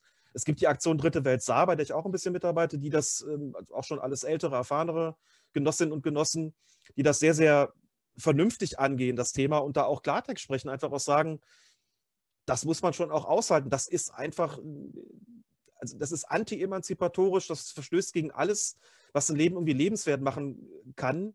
Das ist zutiefst antisemitisch und das müssen wir auch im Sinne einer aufgeklärten universalistischen Kritik, das müssen wir auch so benennen. Aber stattdessen findet man sich dauernd in irgendwelchen Kämpfen wieder, wo man dann, wo, dann solche Kritik, so eine Kritik als rechts geframed wird. Ne? Das nützt ja nur den Rechten, das kommt ja nur von den Rechten, man gehört selbst dazu. Also wie oft ich schon irgendwelche wirklich absurden Rassismusvorwürfe gelesen habe, ich sei Palästinenserhasser beispielsweise. Also ja. Es, es, sind, das sind solche Sachen, da, daran könnte ich verzweifeln oder dass die Kritik der BDS-Bewegung irgendwie rechts ist. Sie wolle ja die Palästinenser sozusagen entwaffnen. Ja, solche Sachen. Und deswegen müsse man ein Palästinenserhasser sein, der so, der so dächte. Das ist schon wirklich ungeheuerlich. Das, eine, eine nachweislich aufgeklärte Kritik, die man sich da zu eigen macht und die man auch äußert, da ein Framing bekommt als, als rechts. Den Leuten fällt auch nicht mehr so wahnsinnig viel Besseres ein, als sowas dann zu behaupten, um äh, einen sozusagen ins gesellschaftliche Abseits zu stellen. Und ja, wobei, genau. Gesagt. Ja, ja, wobei ich da auch, ähm, also ja, du hast einerseits die knallharten Ideologien, äh, Mist, mein Sohn ist wach geworden. Wir müssen eine kurze Pause machen. Ähm, ich muss ihn einmal kurz mal wieder zum Schlafen bringen. Ähm, lass mal die Aufnahme ruhig laufen. Ich schneide das nachher Würde aus. Sagen. Genau. So, bist wieder eingeschlafen. Ich glaube, ich muss mal ein bisschen leiser sprechen, sonst, äh, okay. vielleicht habe ich den gerade wach gebrüllt. Ich muss hier, keine Ahnung, ich glaube, es hält sich noch in Grenzen. Vielleicht muss ich drei, vier Minuten mal ausschneiden. Ist doch Egal. Ähm, genau, wir können direkt anschließen an das, was du gerade gesagt hast. Hm, ich finde das nämlich jetzt schon wieder total bezeichnend, wie das abläuft mit dieser Solidaritätskampagne für diese Nemi El Hassan.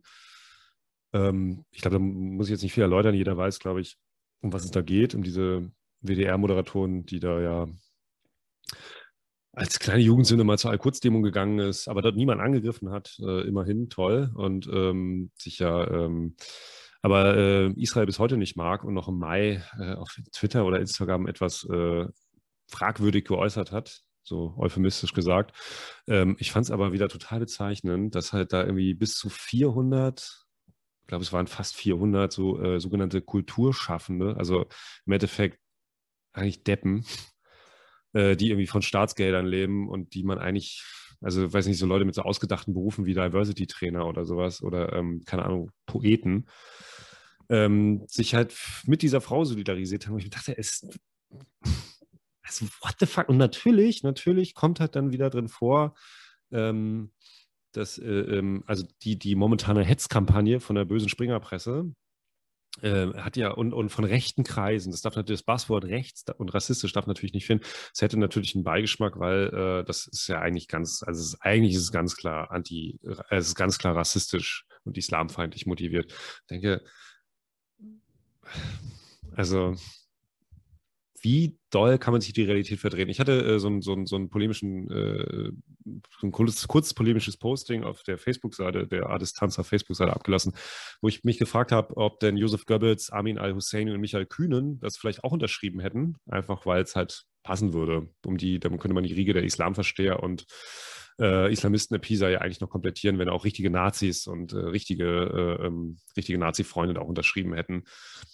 Ja, also ich fand das absolut bezeichnendes Schauspiel dafür. Das sind auch dieselben, die natürlich dazu geschwiegen haben, als äh, ziemlich zeitnah äh, ein 60-jähriger Jude äh, äh, ins Krankenhaus geprügelt wurde in Hamburg und dort wahrscheinlich sein Augenlicht verliert von einem 16-jährigen, ich glaube, äh, Syrer, weiß ich nicht mehr genau. Auf jeden Fall, bei dem ist ja auch noch rausgekommen, dass der in einem, äh, also Holocaust-Film eine kleine Nebenrolle spielt und ähm, genau in diesem Film genau das gemacht hat, was er dann, also das gespielt hat, was er dann ein paar Wochen später in Hamburg wirklich gemacht hat, nämlich halt einen Juden krankenhausreif geprügelt. Ja, ähm, absolut bezeichnend. Ja, das zeigt, das zeigt ganz, zeigt ganz gut an, wie solche gesellschaftlichen Diskussionen über zu solchen Themen dann laufen. Ich meine, das Problem ist in dem konkreten Fall überhaupt nicht, finde ich zumindest nicht, dass es die Bildzeitung irgendwie öffentlich gemacht hat, sondern das Problem Null. ist eher, dass es andere nicht tun. Genau. Ne? Also das ist auch, das gehört dazu, wenn ich gerade gesagt habe, es gibt so eine, sagen wir mal auch nur linksliberale Szene, die eine Kritik des politischen Islam als, als politische Ideologie betreibt, gibt es eben nicht so wirklich in, in relevanter Größenordnung. Und dann fällt das dann eben beispielsweise den Springer-Medien zu. Und selbst wenn es dann irgendwelche rechten YouTuber gegeben hat, die das Ganze für sich ausgeschlachtet äh, haben, muss man ja trotzdem sagen, dass was, da, was sie da rausgefunden haben, ist ja trotzdem ein Problem. Da kann man ja nicht so tun, als ob das alles völlig egal wäre. Also ich habe mich dann in dem, in dem Text auch gefragt, was täte man oder wie sähe man das in solchen linken Kreisen, wenn es da eben jemanden gäbe, der aus einer knallerechten Szene, aus einer ultrarechten Szene ausgestiegen ist und jetzt also beim, beim WDR vielleicht anheuert und auch, auch sagt, ja, ich bedauere das, das kommt dann ans Tageslicht irgendwann mal, sagt, ich bedauere das natürlich, ähm, ich habe aber damit nichts mehr, nichts mehr zu tun. So gleichzeitig merkt man aber so die Statements, die er sonst noch so in den politischen Bereich trifft, die deuten jetzt nicht unbedingt darauf hin, dass er sich so völlig davon verabschiedet hat. Da würde man ja auch sagen, ja, natürlich, an so einem Ausstieg sind äh, nochmal ganz andere Bedingungen geknüpft und man hätte großes Misstrauen, wenn man da sähe, was diese Person da sonst noch so äußern würde, wenn das jetzt nicht völlig äh, in eine völlig andere Richtung geht. Und so ist es, in, warum ist es in, in dem Fall von einer Person, von einer Frau, die sich in, in, in, wirklich stramm islamistischen Kreisen bewegt hat, auch wenn es schon ein paar Jahre her ist, warum ist das nicht anders? Warum legt man da nicht genau die gleichen Maßstäbe an? Und fragt mal, wie sieht das Ganze denn eben heute aus? Und das Problem war natürlich dabei ganz einfach auch, sie hat schon glaubwürdig hm, vermitteln können, dass sie mit so einer Szene Al-Quds-Tag und äh, Islamisches Zentrum Hamburg mit solchen Leuten nichts mehr zu tun haben. Sie hat den Hijab abgelegt, aber dann kommen eben diese Postings ans Tageslicht, von denen du gerade gesprochen hast. Und die machen halt sehr deutlich, naja, aber äh, das, was sie da im Spiegel-Interview gesagt hat, sie hasse den Staat Israel nicht, sie wolle ihn auch nicht abschaffen, sei für eine, sie sei keine Politikwissenschaftlerin, aber zwei Staaten lösen oder ein Staaten und jedenfalls, da soll es irgendwie schön Frieden für alle geben wirkte dann doch eher sehr auswendig gelernt und wirkte dann auch eher so, als ob sie unter allen Umständen vermeiden wollte, da irgendwie jobtechnische Nachteile zu bekommen. So, und das, ähm, da ist dann eben klar geworden, sie hat sich noch zeitnah zu der ganzen Diskussion durch irgendwelche Postings oder durch irgendwelche welche Likes, die sehr merkwürdig waren, dann so ganz dann doch nicht aus einer Szene entfernt, in der Israel-Hass auf jeden Fall zum guten Ton gehört. Nur ist sie damit sozusagen dann per Solidarität in der Szene gelandet, bei der das in dieser ja, vermeintlich aufgeklärten äh, Art und Weise natürlich auch zum guten Ton gehört. Ne, diese 400, die da unterschrieben haben, wenn man mal guckt, wer da so dabei war. BDS-Aktivisten, also Leute, die auch publizistische Israel-Hasser, das ja auch schon erwähnt. So, das ist dann das Solidaritätsmilieu dafür, und die es natürlich nicht, nicht ausgelassen haben, zu sagen, die Frau ist Opfer einer, einer rassistischen Kampagne. Da hat es auch rassistische Angriffe gegeben, keine Frage. Aber das macht das ja nicht ungeschrieben und nicht weniger problematisch, was die Frau von sich gegeben hat. Ja, ja, ja. Also ich glaube, also, also das ist, ich glaube, diese Liste ist wie durchsetzt entweder von Ideologen oder von einfach Vollidioten. Also so gut meinen Deppen. Das, das ähm, ich glaube, ja, das ist eigentlich, glaube ich, das größte Problem, äh, dass du einfach äh, die, dass das so eine unheilvolle Melange ist zwischen Ideologen, die ganz knallharte, ideologisch motivierte Propaganda halt betreiben und ganz genau wissen, was sie da tun. Und dann werden sie halt total unterstützt und supported halt von Leuten, die halt glauben, sie tun damit halt das Richtige. Und das sind diese wieder gut gewordenen Deutschen, wie Eike Geise es ja schon in den 90ern beschrieben hat. Äh, also Leute, die halt äh, ähm, also die völlig, also völlig beknackte und völlig falsche Lehren aus dem Holocaust und aus dem Nationalsozialismus halt ziehen. Und die gibt es ja in Deutschland, also die gibt es ja auch, glaube ich, so in der Form gibt es die vor allem in Deutschland. So, das ist so vor allem, glaube ich, ein deutsches Phänomen. Also diese, so natürlich vom Menschenschlag her gibt es die natürlich auch überall. Die gibt es ja auch in den USA ganz äh, doll oder in England, wie ist es ja auch irgendwie schick, den BDS zu unterstützen wegen der Kolonialvergangenheit, was auch immer das eine mit dem anderen zu tun hat. Oder in den USA werden ja die Lehren aus der Sklaverei werden ja, sind ja auch völlig irre mittlerweile. Ähm, das hat ja ganz, ganz, ganz, ganz furchtbare Ausmaße angenommen, dieser, Anti, dieser Antirassismus. Ähm, und in Deutschland ist das halt eben dann, äh, ähm, ja, wird es halt immer irgendwie auf den Nationalsozialismus äh, ähm, bezogen und irgendwie, den, den, guck mal hier, was wir jetzt für, ne, um den, das zu wieder, um das zu verhindern, was sich damals ereignet hat, müssen wir heute den Anfängen wehren und in deren Weltsicht sind halt Muslime halt irgendwie neue Juden. Weißt eigentlich, ich glaube, Ahmed Mansour oder Ahmed Abdeslam hat gesagt, nee, also Juden sind halt die neuen Juden und werden es auch immer sein und niemand anderes. Weder irgendwelche Impfgegner noch äh, irgendwelche, keine Ahnung, noch irgendwelche Moslems sind halt irgendwie neue Juden. Also das ist ja so eine Binsen, das ist auch wieder so eine Binsenweisheit. Und da denke ich nur, wie blöd ist dieses Land, also wie, wie blöd ist diese Gesellschaft eigentlich geworden? Also ich glaube, es ist nicht mal die Gesellschaft an sich, sondern es ist halt die tonangebende äh, dominierende Elite, die halt äh, tatsächlich tonangebend ist in der, in der, in der Presse dann möchte ich Springerpresse jetzt tatsächlich komplett ausnehmen. Ich finde äh, mittlerweile, das hätte ich auch nie gedacht, als 14-, 15-jähriger Punker war natürlich das Feindbild Springerpresse selbstverständlich, also es war ja völlig Common Sense. Ich muss mittlerweile eine Lanze für die Springerpresse brechen. Ich lese die Welt und mit, mittlerweile auch fast schon die Bild lieber als die, äh, lieber als, als äh, der Taz und Frankfurter Rundschau und äh, teilweise auch lieber als die FAZ mittlerweile. Ähm, aber das Man ist muss so. ja auch immer, sagen, was, was Springer betrifft, jetzt, wenn die Leute mich dann auch, auch bei Veranstaltungen gerne mal fragen, das, sei ja, das seien ja dann diejenigen, die sich pro-israelisch äußerten, wie ich dann darüber dächte, dann sage ich zunächst mal, und wenn man die Bildzeitung sonst nicht mag, jetzt stelle man sich nur mal vor, die wäre auch noch antisemitisch.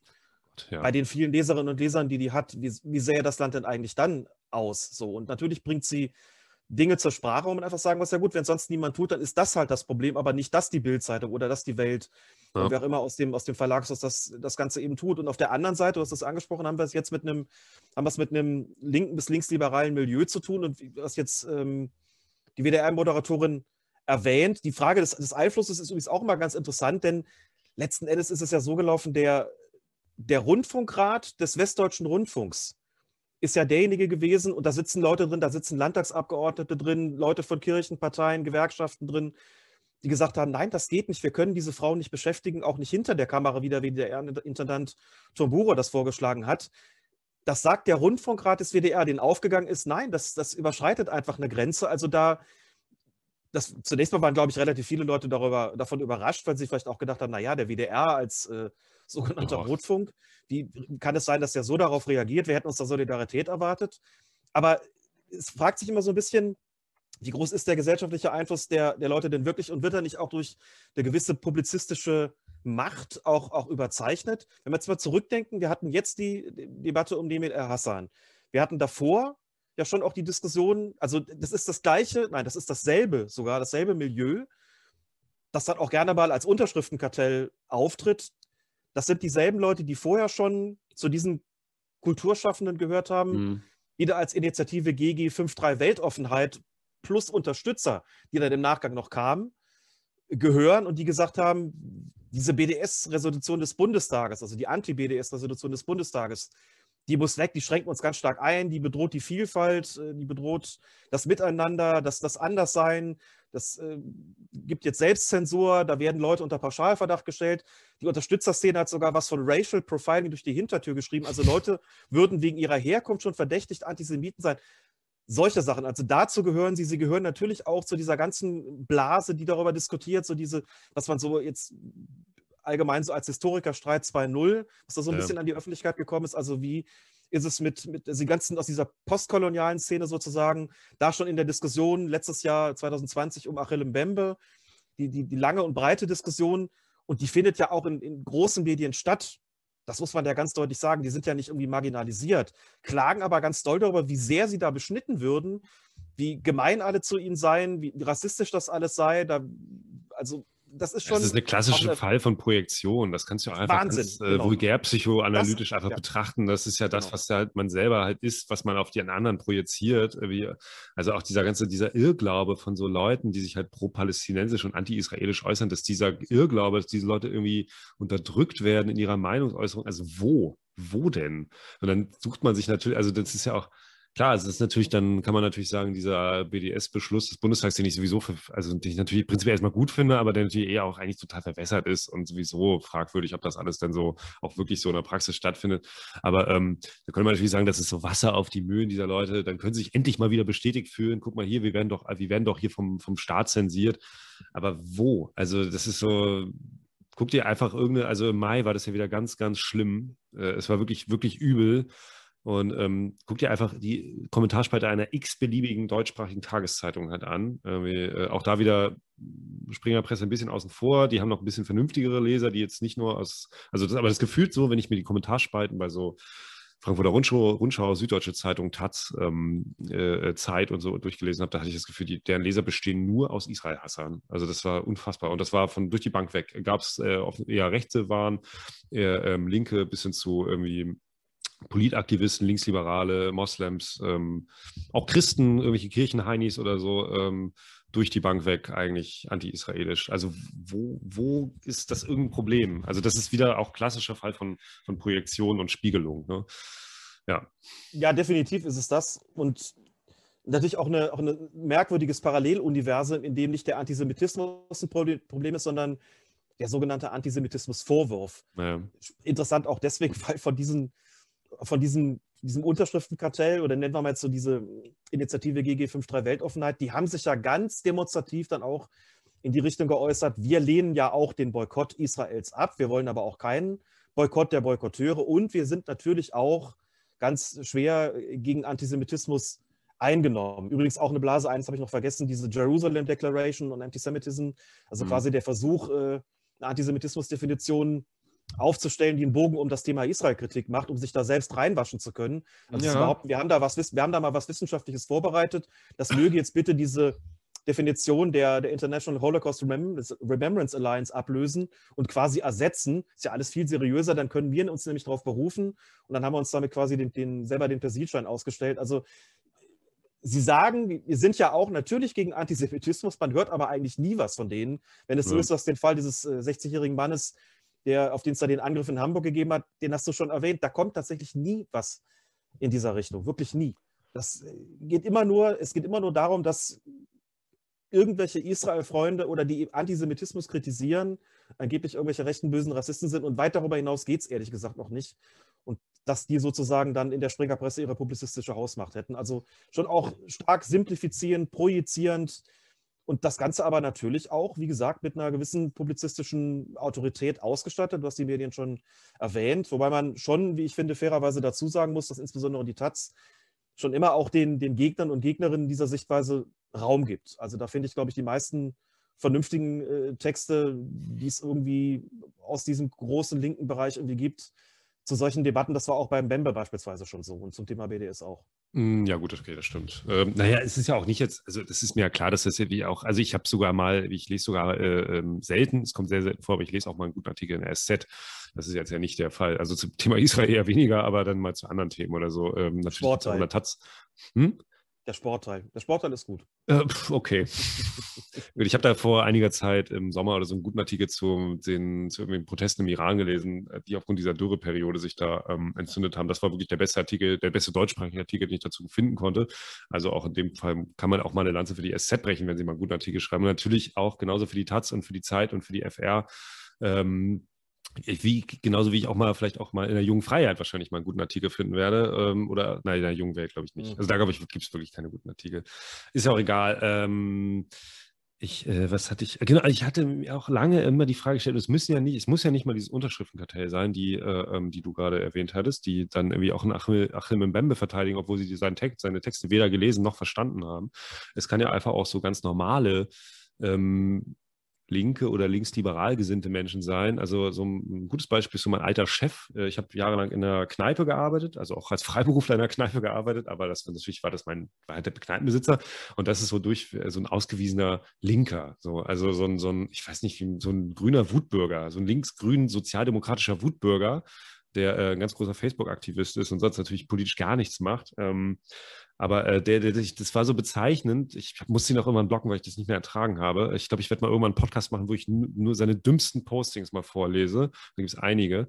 Aber ähm, so zum Bezeichnen war es zum Beispiel auch letztes Jahr ähm, dass du zu dieser islamistischen Terroranschlagswelle mit dem Thomas Lips in, in Dresden, dann Samopathie, die Morde in Nizza, die Morde in Wien, da hat er gar nichts, also drei Wochen lang überhaupt nichts dazu geschrieben, obwohl das ja wirklich, das war also gerade der Mord an Samopathie, das hat ja wirklich, das hat ja wirklich mal Wellen geschlagen, ausnahmsweise mal. Ähm, da kam nichts und da kam ja Gott sei Dank kam dann irgendwann im November diese Jana aus Kasse, diese, diese doofe 20, 22-jährige Studentin, die sich auf irgendeiner Querdenker-Heini-Demo dahinstellt und sich mit Sophie Scholl vergleicht, wo ich mir dachte, meine Güte, wie irrelevant ist die Frau bitte? Die hat doch sowieso, also die hat sich ihr Leben gerade komplett versaut, erstmal für die nächsten Jahre. Und äh, da muss ich sogar Heiko Maas dazu einschalten, was zu twittern. Und natürlich musste auch mein alter Chef musste dazu auch was schreiben, während man dann sonst immer schön brav die Fresse halt hält, wenn es halt irgendwie um Themen geht, wo man wirklich was riskieren könnte. Äh, und genauso war es natürlich auch dieses Jahr wieder. Ähm, ähm, bis, bis Mitte Mai immer schön irgendwie über, was weiß ich, über das Tempolimit und über die doofen CDUler, die äh, äh, den Klimawandel nicht ernst genug nehmen, herziehen. Und dann kommt halt irgendwie die, kommt halt die militärische Auseinandersetzung zwischen den IDF und der Hamas. Und äh, es folgten die schlimmsten antisemitischen Massenaufmärsche seit Jahren. Ähm, und da kommt nichts, gar nichts. Also nicht mal ein Facebook-Tweet, nicht mal ein Facebook-Post oder so. Nicht mal, nicht mal irgendwie dieses vielgeteilte Video vor der Synagoge in Gelsenkirchen, wo es ja wirklich, also eindeutiger geht es ja gar nicht mehr. Also wie kann man, Wie, wie, wieso? Wie ist, ich habe mich lange gefragt, wie ist dieser psychologische Mechanismus bei solchen Leuten? Wie kann man halt bei sich über alles Mögliche aufregen und alles, was halt irgendwie, ähm, wo es eh einen gesellschaftlichen Common Sense gibt, ob sei es MeToo oder sei es jetzt irgendwie die AfD, wie doof die AfD ist und wie schlimm der angebliche Rechtsruck ist, den es eh nicht gibt, aber ähm, da ist man so wie, da, oder irgendwie wie doof die Querdenker sind und wie wichtig das Impfen ist und alles Mögliche, wo es sowieso einen gesellschaftlichen Konsens gibt, dass das alles richtig und gut ist, aber halt bei solchen Themen, wo die Hütte wirklich brennt, äh, da hält man einfach konsequent die Fresse. So. Und da habe ich mich immer gefragt, wie, wie, wie geht das? Ich glaube, mittlerweile ist es einfach, es ist halt Gratis-Mut. Es fühlt sich halt gut an, auf der Seite, äh, auf der richtigen Seite zu stehen, obwohl man sich selber noch dabei einredet, dass man ja ein Rebell ist und dass man ja ein Antagonist ist und nonkonformistisch ist, weil man ja irgendwie so links und Punk ist irgendwie. Weil das hatte ich schon mit der Sarah Ruckay und dem Michael Fischer, also das, was mal Punk war, ähm, also die, weiß nicht, also ich fühle mich immer noch als Punk. Äh, ich glaube, die Ärzte sind es halt nicht mehr streng genommen oder ähm, ZSK und äh, keine Ahnung, irgendwelche anderen Hoshis, Egotronic oder so, die äh, auch nur das wiedergeben, was irgendwie die Bundesregierung von sich gibt. Ähm, aber ja, aber das ist irgendwie das Geheimnis dieser Leute, zu glauben, dass man immer noch irgendwie rebellisch sei, weil links ist halt immer automatisch rebellisch, ohne zu merken, dass das einfach mittlerweile Staatsräson ist. Und ähm, deswegen hält man halt bei wirklich harten, kontroversen Themen die Fresse und mischt halt immer mit, wenn es halt darum geht, so Phishing for Compliments zu betreiben. Noch das hundertste Posting gegen die AfD das hundertste Posting gegen den Klimawandel, äh, das hundertste Posting gegen die Springerpresse. Hier, also, also ja, keine Ahnung. Ist, ist, ich glaube, das ist das ganze Geheimnis. Ne? Die Leute wollen sich einfach gut fühlen dabei. Gut fühlen, das ist die eigene Komfortzone, die Social genau. Media, also die sozialen Netzwerke verstärken das Ganze natürlich auch, weil man da unmittelbar die Möglichkeit hat, das, das mitzuteilen und natürlich sich da auch die entsprechenden Blasen, die entsprechenden Bubbles eingerichtet hat, die dann auch mit äh, den entsprechenden Likes und Retweets oder was auch immer da passiert, dann dafür sorgen, dass das Ganze nochmal bestätigt wird. Ich glaube, diese Form von Bestätigung ist da natürlich sehr wichtig. Man will auf gar keinen Fall dahin gehen, wo es weh tut, weil man auch selber weiß, wenn man, wenn man selber schon, das kommt natürlich dann dazu, also zu diesem Bubble-Verhalten gehört ja dann auch, sich zu formieren gegen das, das, das böse Außen und gegen die Abweichler, die da irgendwie Kritik äußern.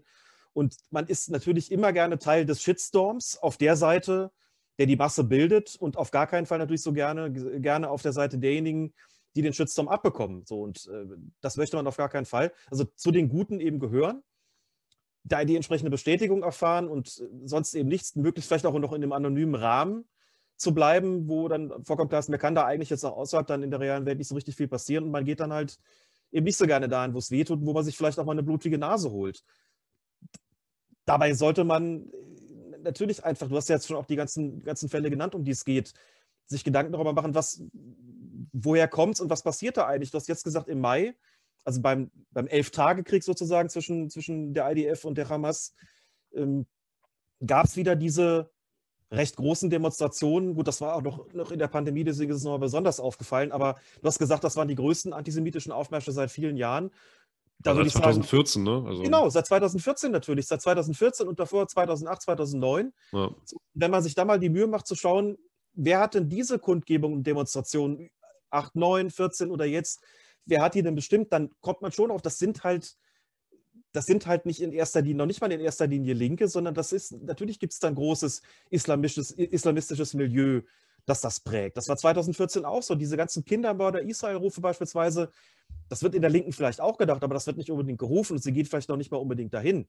So, und das zur Kenntnis zu nehmen und zu sagen, okay, ich glaube, da existiert wirklich ein großes Problem das passiert halt einfach nicht. Ne? Stattdessen wird natürlich, also im Grunde sagt man sich ja, naja gut, in der Form ist es vielleicht ein bisschen drüber, aber irgendwo inhaltlich sind wir ja nicht so ganz weit davon entfernt. Ne? Das erinnere mich noch an die, an die Kommentare auch in den link- und linksliberalen Medien, gerade 2014.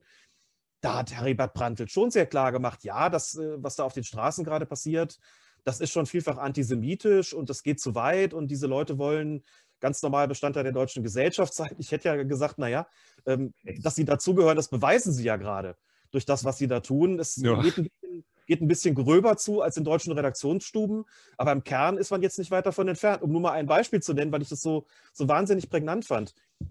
Der Klassiker war wirklich 2014 diese Kindermörder-Israel-Rufe auf den Straßen. Und dann gab es in der Süddeutschen Zeitung, war dann irgendeinem Tag im Sommer 2014 während dieses Krieges ein Titelbild, da war über, eine Titelseite, da war über drei oder vier Spalten ein Foto abgebildet. Das zeigte so eine, eine Trümmerwüste in Gaza. Du hast ganz viel Geröll gesehen, kaputte Häuser. Aber es war menschenleer und im Vordergrund stand ein umgekippter Rollstuhl. Das ist natürlich ein starkes Bild. Du guckst da drauf und das, das macht natürlich unmittelbar was mit dir. So, und mhm. im Grunde genommen war die, die Kernaussage Behindertenmörder Israel. Ne, das war dann quasi die intellektuelle Variante des Kindermörders Israel. So Israel bringt nicht nur kleine Kinder um, sondern auch noch Behinderte und ja. andere Schwache in dieser Gesellschaft. So sieht das Ganze dann eben aus. Und Brandl schreibt dann eben, ja, okay, das, das geht jetzt zu weit von dem, was sie, da, was sie da rufen, das geht nicht, aber man muss trotzdem noch die Siedlungen kritisieren und den Krieg kritisieren und was weiß ich nicht, was Israel noch alles falsch gemacht hat oder falsch gemacht haben soll, was man da irgendwie kritisiert. Also, da merkt man dann schon, das ist dann schon auch natürlich so eine Melange, die da zusammengekommen ist und wo sie dann auf der Straße die, die sehr radikale Avantgarde im Prinzip hast und die, die Masse, da rümpft sicherlich auch ein Herr Brandl seine Nase, aber im Kern sieht es dann in diesen Redaktionsstuben gar nicht mal so furchtbar anders aus. Und das ist natürlich auch so dieses, das ist vorhin schon angesprochen, dieses wieder gut gewordene Deutschland, wie es, äh, es Eike Geisel schon genannt hat, und äh, ist natürlich die, die sogenannte Israel-Kritik. Letzten Endes läuft es alles darauf hinaus, man beschäftigt sich mit den toten Juden und trauert über die toten Juden, wie am 9. November oder am 27. Januar, und verschafft sich damit sozusagen die Ermächtigung, um desto härter mit den lebenden oder überlebenden Juden ins Gericht gehen zu können, die Israel in Wort und Tat verteidigen. Das ist letztlich das, worum es geht. Dafür diente diese ganze Übung und das ist auch im Grunde leicht durchschaubar und spiegelt sich auch in dieser ganzen Geisteshaltung von diesen Unterschriftenkartellen und was dergleichen mehr ist, in dieser, dieser linken und äh, linksliberalen publizistischen Speerspitze spiegelt sich das Ganze wieder. Ja, es ist ein bisschen Biedermann und Brandstifter, ne? Also wahrscheinlich ja. so wie das, was äh, Anfang der 90er Jahre halt zu Zeiten von brennenden Flüchtlingsheimen und dem applaudierenden Mob da vor Rostock-Lichtenhagen oder so, ist eigentlich so ein bisschen das, äh, wo man ja vielleicht noch Anfang der 90er Jahre wirklich noch von einer Art Rechtsruck sprechen konnte.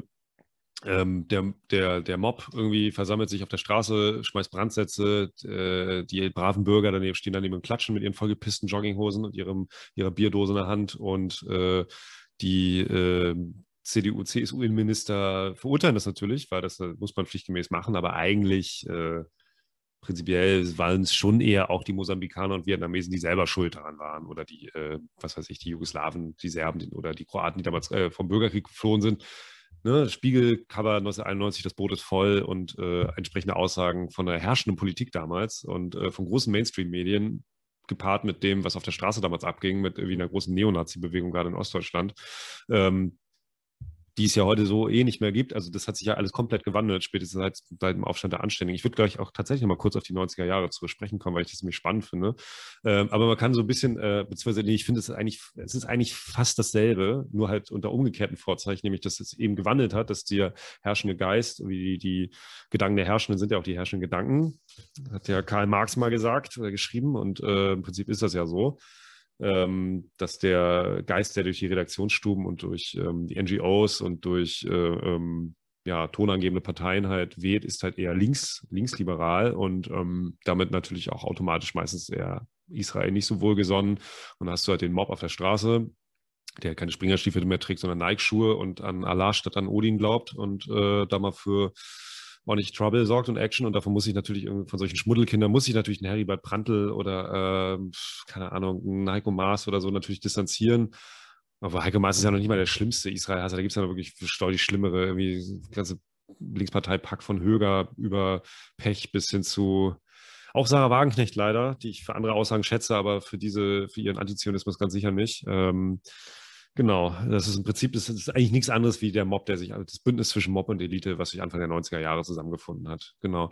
Ähm, ich würde kurz einen Bruch machen, nämlich das mit den 90ern. Äh, das ist ja eine Zeit, 90er, ich bin äh, in den 80ern, später 80er geboren, ähm, 90er Jahre, da war ich halt ein Kind ähm, und habe halt irgendwie Enjoy Radio gehört und äh, Scooter-Kassetten mir gekauft und bin ja erst so nach 2000, also ab 2001 habe ich mich so als Punk gesehen, auch wenn ich da äh, eher noch nicht so aussah, aber mh, mm, bin dann auch 2002 auf meine ersten Demos gegangen, aber die 90er habe ich natürlich komplett verpasst natürlich. Äh, ich denke mir immer ganz oft so, wenn ich mir heute das so angucke, denke ich mir eigentlich, die 90er, da war eigentlich wahrscheinlich schon, jetzt mal abseits von diesen Brandanschlägen und so und der krassen Nazi-Szene in Ostdeutschland, waren die 90er Jahre eigentlich schon noch ganz in Ordnung, oder? Also, weil ich kann mir vorstellen, wenn du eine Antifa Bonn, wahrscheinlich war es die Antifa Bonn rein Sieg, ne? Das so war eine sehr große, sehr große Antifa-Gruppe. Ich habe ja. da auch später in den 2000ern zu meiner Antifa-Zeit auch mal jemanden kennengelernt, so ein Urgestein der Antifa Bonn rein, sie keine Ahnung mehr, wie der hieß. Ähm, kennst du wahrscheinlich aber auch noch so einen Recherchetyp. Ähm, Ich weiß, wenn du meinst, ja. Ja. ähm, und ähm, äh, aber ich kann mir vorstellen, also so war das denn in Nordrhein-Westfalen, Bonn, so war das auch so übel mit der Nazi-Szene da, wie in Ostdeutschland? Also in Ostdeutschland muss ja wirklich teilweise war es ja lebensgefährlich, wenn du da als nachts als Punker oder Schwarzer oder Stadtbekannter, keine Ahnung, Andersdenkender auf die Straße gegangen bist oder so. Also das habe ich Anfang der 2000er sogar noch mitbekommen als, als junger Punker, dass es da in dem Kaff, wo ich ursprünglich herkomme, das Wolgast, dass es da teilweise gefährlich war, mit, mit bunten Haaren und Lederjacke nachts oder abends rumzulaufen nach Einbruch der Dunkelheit, weil die Kameradschaftsnazis da einfach durch die Straßen patrouilliert, patrouilliert sind. Und ähm, das muss in den 90ern noch viel krasser gewesen sein. Aber war es in NRW auch so übel? Das nicht, nicht flächendeckend sozusagen. Ich glaube, das ist tatsächlich schwer, das äh, zu vergleichen bzw. gleichzusetzen. Würde ich von Bonn jetzt einerseits nicht behaupten, andererseits hat es da auch schon zum, wirklich eine, eine, Nazi, eine relativ starke Nazi-Szene gegeben, die tatsächlich auch einfach alles terrorisiert hat, was nicht in die Zigarettenschachtel großes Weltbild gepasst hat. Und äh, weder die Kommunalpolitik noch die Polizei haben irgendetwas dagegen unternommen. Das hat schon maßgeblich zum, Auftrieb und zum Erstarken der Antifa Bonn-Rhein-Sieg auch beigetragen. Dann übrigens auch in den, also im Umland von Bonn, äh, was ja auch eine Rolle gespielt hat, wo es die Nazis noch mal leichter gehabt haben, weil dann natürlich immer weniger, grundsätzlich weniger Linke hast, die sich irgendwie dagegen wehren und mehr so ein Milieu, das dem Ganzen irgendwie dann doch mit Verständnis begegnet. Also äh, es ist schon, sind schon tatsächlich die, die Antifaschisten und Antifaschistinnen gewesen, die in Bonn dann auch tatkräftig, sagen wir mal, dafür gesorgt hat, dass äh, für, für also dann doch halbwegs menschenwürdige Verhältnisse wiederherzustellen, ne, indem sie auch sehr aktiv in Wort und auch in der Tat gegen diese Neonazis vorgegangen sind. Das mag jetzt in Bonn selbst nicht so schlimm gewesen sein wie in, in vielen ostdeutschen Ortschaften und Städten, aber es war auf jeden Fall auch ein signifikantes Problem, dass die Antifa angegangen ist und dass ihr auch Zulauf verschafft hat natürlich und dass ihr auch ein Wachstum beschert hat. So. Und ich meine, es hat in den 90er Jahren nicht ohne Grund, gerade nach den Angriffen auf die Flüchtlingsheime, und dafür stehen ja nicht nur ostdeutsche Städte, dafür steht beispielsweise auch Solingen. Ja, ähm, stimmt. Ist ja nicht weit weg, ne? Von, von das ist ja nicht, nicht so allzu weit weg. Also es hat den Versuch gegeben einer, einer bundesweiten Organisierung, gleich auch auf zwei Ebenen. Es gab ähm, zwei unterschiedliche bundesweite Bündnisse mit unterschiedlichen Ansätzen. Ja, also AABO ne? und das BAT gab es, glaube ich, ne? Genau, das bundesweite Antifa-Treffen, ganz genau. Das sind ja Organisationen gewesen, also die ein klarer Ansatz dafür waren, so wir haben schon eine relative Stärke und wir versuchen das Ganze jetzt mal. Also das ging ja nie irgendwie Richtung Massenorganisation, aber es war schon ein wahrnehmbarer Faktor. Auch in den jeweiligen Städten war schon klar, das spielt da eine Rolle. In Göttingen beispielsweise, wo die Antifa M zu Hause war, auch ja. eine starke Rolle gespielt und schon auch sich eine Form von, von Standing erarbeitet, wo klar war, an dem können wir nicht vorbei. Also das hat, glaube ich, schon damals viele Leute geprägt, auch viele Leute politisiert oder vielleicht auch, auch in Teilen radikalisiert und zu einer Organisierung gebracht. Ähm, muss sagen, ich habe diese, diese Zeit damals schon auch als sehr intensive erlebt und das auch für, für den richtigen und vertretbaren Ansatz gehalten. Äh, was da passiert ist, bis es dann, wie es halt dann auch immer ist, man merkt dann irgendwann natürlich auch über die ganzen Auseinandersetzungen die ganzen Unterschiede. Und wie schon mal vorhin kurz, kurz angedeutet, mit, mit meinem Grüppchen sind wir dann irgendwann schon dazu übergegangen, auch mal danach zu fragen, wie sieht es mit linken Antisemitismus aus? Übrigens nicht nur dem, dem gegenwärtigen und auch nicht dem ganz alten historischen wie in Richtung KPD, sondern da ist schon auch drüber gesprochen worden, was haben eigentlich diese äh, Gruppen des sogenannten bewaffneten Kampfs eigentlich gemacht? Also mhm. Stichwort Entebbe beispielsweise, über sowas ist auch, auch gesprochen worden, Dinge, die, die lange Zeit unhinterfragt waren eigentlich in der, in der radikalen Linken sind dann auch mal auf den Tisch gekommen und das waren schon auch ähm, teilweise sehr emotionale Debatten, die da geführt worden sind. Ähm, aber gerade Anfang oder, oder auch Mitte der 90er noch, so auf dem, sicherlich auf dem Höhepunkt, ähm, so der, der Antifa-Szene der, der, damal, Antifa der damaligen Zeit, waren die Fortschritte, die es da gegeben hat, doch schon, schon greifbar und auch schon signifikant, würde ich sagen. Ich habe mal irgendwann die These auch gelesen, ich weiß gar nicht mehr von wem das war. Also ich glaube, das war so ein, ich weiß nicht, ich glaube, es war sogar aus innerlinken Kreisen irgendwie, dass so eigentlich so in den 90er Jahren, also nachdem halt so der Ostblock, ich glaube, nee, ich ich war, ich glaube, es war in dem Buch von Jan Gerber über den Zusammenbruch des äh, Ostblocks und dann die Auswirkungen auf die radikale Linke, das Nie wieder Deutschland-Buch, hm, wo er, glaube ich, auch die These aufgestellt hat, das finde ich durchaus schlüssig, ohne die Zeit jetzt selber aktiv miterlebt zu haben, ähm, dass so eigentlich die Linke nach dem Fall der Mauer, was ja immer, also was ja trotz alledem so, ein, also trotz aller Abneigung gegenüber dem Ostblock, äh, ja trotzdem so eine Schockstarre hervorgerufen hat weil man so einen imaginierten Bündnispartner, der vielleicht ja doch noch irgendwie das Versprechen der Weltrevolution konserviert hatte, äh, ja einfach verloren hat. Und ähm, danach äh, hätte man eigentlich ja fast schon, also wird so auch der Antiimperialismus wurde nur rübergerettet durch die Kurdistan-Solidarität. Ähm, und ähm, und äh, ansonsten konnte man nur noch eigene Akzente setzen mit so großen Mobilisierungen äh, im, im Antifa-Bereich. Also ich glaube, eine der Parolen der AABO, also die antifaschistische Aktion, bundesweite Organisation, war ja, glaube ich, sogar Kampf dem Faschismus heißt Kampf dem imperialistischen Gesamtsystem, also mit dieser bescheuerten Dimitrovschen These, von wegen hinter dem Faschismus steht das Kapital, genau, also als ob so in den 90er Jahren so einer lächerlichen Popelpartei wie der NPD so die großen Aktionäre und Kapitalgeber gestanden hätten. So, ähm, also auch da so völlig unkritisches 30er-Jahre-Weltbild, was damals schon mindestens fragwürdig war, irgendwie auf die heutige Zeit übertragen.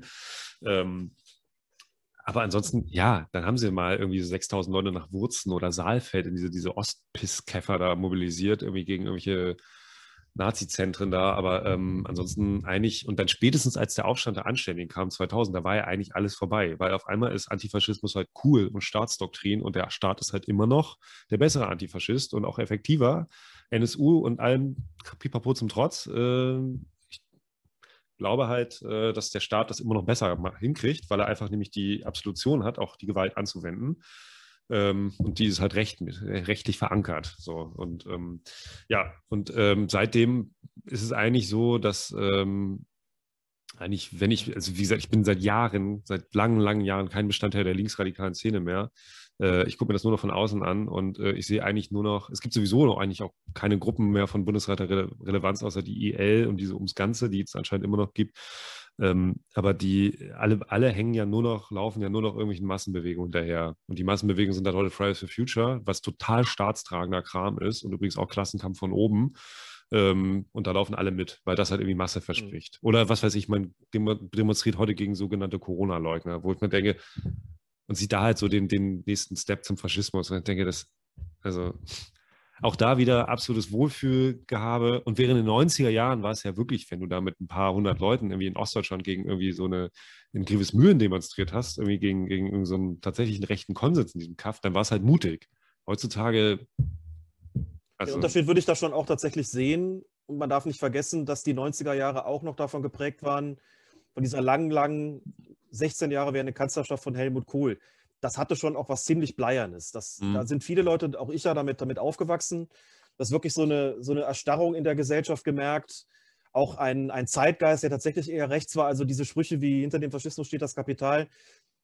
Also in meiner Erinnerung war das auch nicht unbedingt gegen die NPD gemünzt, das natürlich auch, aber das, das ist damals, glaube ich, schon auch klar ge gewesen, das ist nicht die relevante Kraft, hinter die sich irgendwelche Aktionäre stellen oder sowas. Aber es hat auch zum Beispiel Aktivitäten gegeben zur Abwicklung von IG Farben solche Sachen. Mhm. Also immer auch noch mit diesem geschichtlichen Bezug, das ist ja noch lange nicht irgendwie aufgearbeitet äh, gewesen und auch gegen so einen rechten Zeitgeist natürlich, auch in, in der Politik schon klar war, so der rechte Rand der CDU, als es den Stahlhelmflügel noch gab, der hat schon deutliche Verbindungen da ins rechte Lager und da hat es auch die entsprechenden Bücher gegeben. Es ist in den ganzen Debattenorganen, ist das natürlich verhandelt worden. Also das ist schon eher die Stimmung gewesen, dass man auch das Gefühl haben konnte, wir sind da, wir arbeiten da schon gegen die Mehrheit an.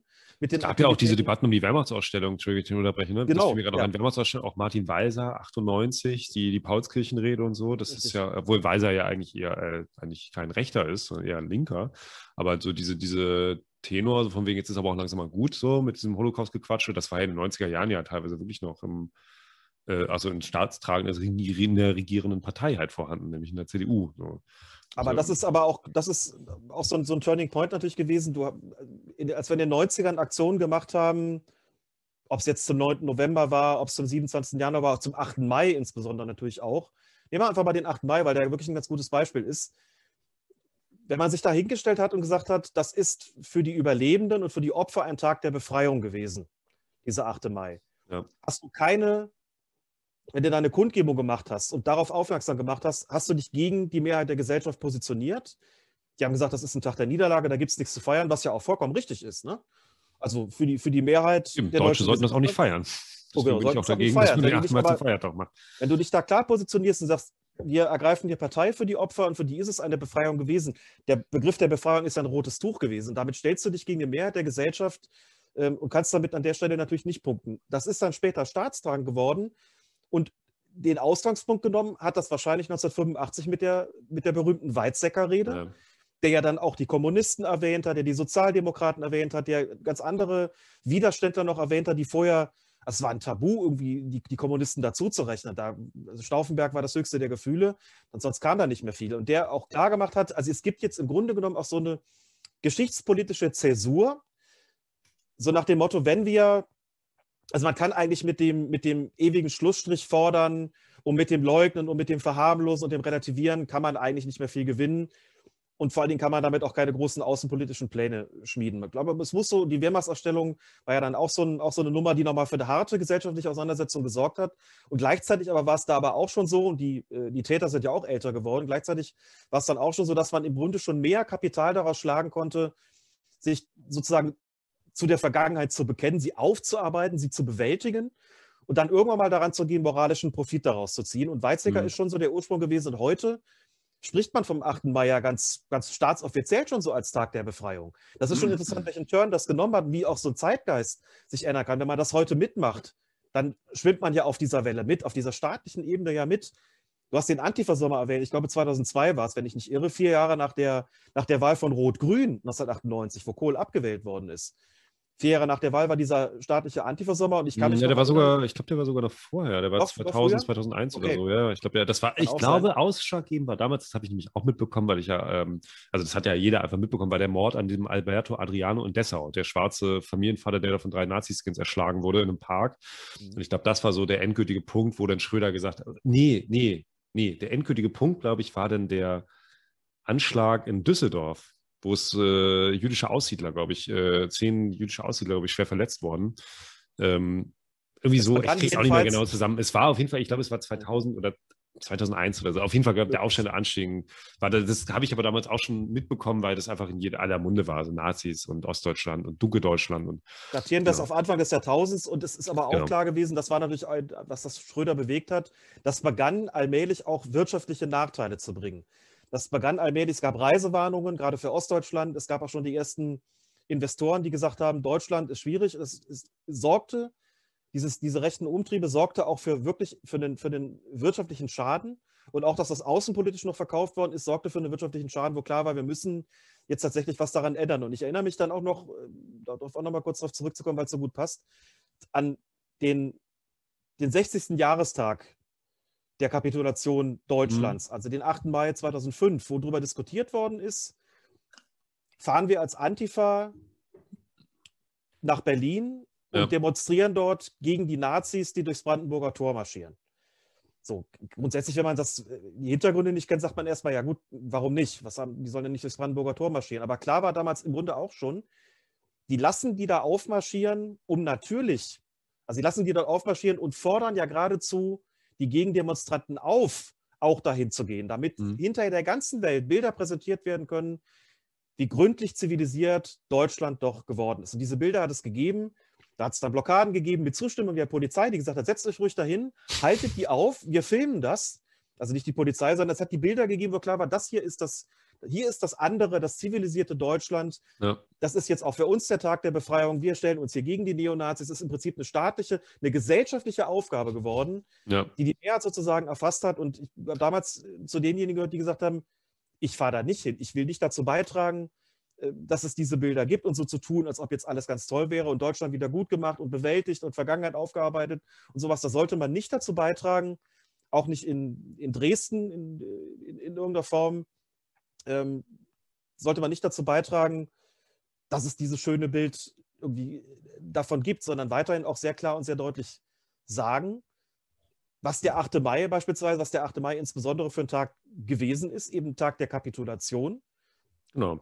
Nicht so tun, als ob man jetzt plötzlich in eins mit den Opfern zu sein wäre. Oder, und das ist ja, das ist ja das Narrativ, das äh, am problematischsten ist, dass man im Prinzip damit ja sagt, naja, irgendwo waren ja doch irgendwo, irgendwo waren sie ja alle Opfer davon. Ne? Es hat ja sie heute auch um ihre Jugend gebracht, um ihre Hoffnung gebracht, um ihre Träume gebracht. So. Und deswegen sind wir jetzt alle davon. Also am 8. Mai 1945 ist die Welt von den Deutschen befreit, befreit worden und nicht die Deutschen von den Nazis. Und den Unterschied deutlich zu machen, das fand ich immer ganz, ganz wichtig bis heute, weil dieser geschichtspolitische Diskurs, der sich verändert hat, tatsächlich einer ist, das hat Eike Geisel eben sehr früh schon vorausgesehen, das ist einer, da muss man widersprechen. Und das ist dann eben tatsächlich auch in, in vielen linken Organisationen so nicht der Fall gewesen. Sie haben sich gefreut, dass plötzlich da ein größerer Teil der Gesellschaft drauf anspringt und sich der Zeitgeist so ein bisschen ändert. Und das, äh, die, die späten Ergebnisse davon, die sieht man eben heute auch in diesem Unterschriftenkartell. Ja, ich finde, äh, genau, das ist nämlich so ein Punkt, was, glaube ich, das, also ich bin 2005, am 8. Mai bin ich natürlich auch brav nach Berlin gefahren, als kleiner 17-jähriger Antifa mit meiner damaligen äh, Antifa-Gruppe ähm, und ähm, haben uns natürlich irgendwie auch gefreut, dass wir da irgendwie mit, weiß nicht, 15.000 Leuten irgendwie diese, diese 3.000, 4.000 Nazis da aufgehalten haben, ohne und am Vorabend war noch Konzert von Tokotronic unter dem Motto, das war, glaube ich, von der Jungle World sogar mit organisiert, Deutschland, du Opfer. Also als ob das irgendeine Relevanz gehabt hätte in diesem ganzen Wiedergutmachungsspektakel. Das ist mir natürlich da überhaupt nicht klar gewesen.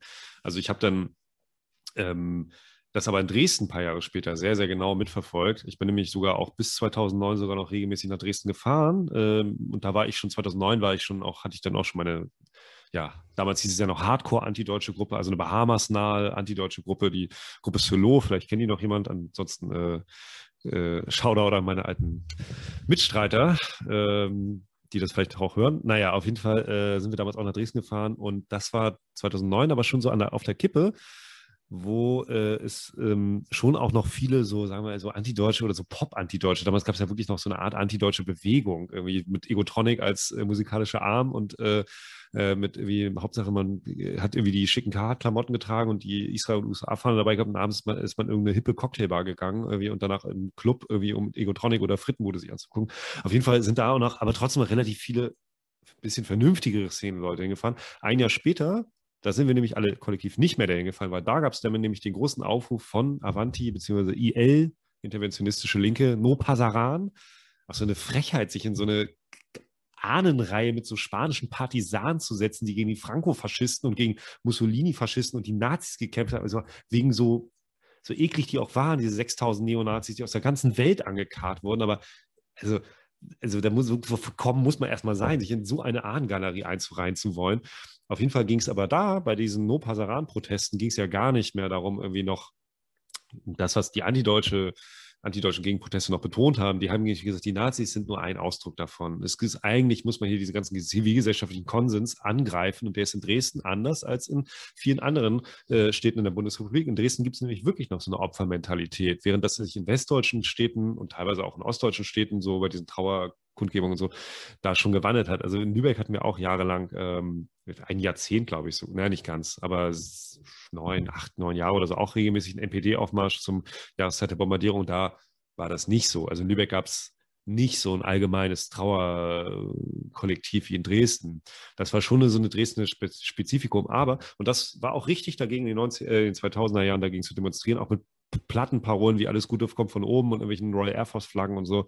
Aber als dann die äh, Platzhirsche von EA das übernommen haben und gesagt haben, no Pasaran und uns geht es jetzt eigentlich nur noch um die Nazi-Demo, ja, dann setzt euch doch zusammen hin, friert euch halt den Arsch ab im Februar, irgendwie lasst euch ein bisschen von den Bullen mit dem Wasserwerfer wegschießen ähm, und ansonsten setzt euch da doch hin und lasst euch Suppe bringen von irgendwelchen äh, SPD-Heinis und von irgendwelchen grünen Heinis und Kirchen-Heinis, dann macht er halt mit, so bei dem offiziellen zivilgesellschaftlichen, ja, ihr seid halt der militante Arm der Zivilgesellschaft. Genau, so habe ich meinen Text äh, betitelt, wo es um diese Lübecker Proteste ging.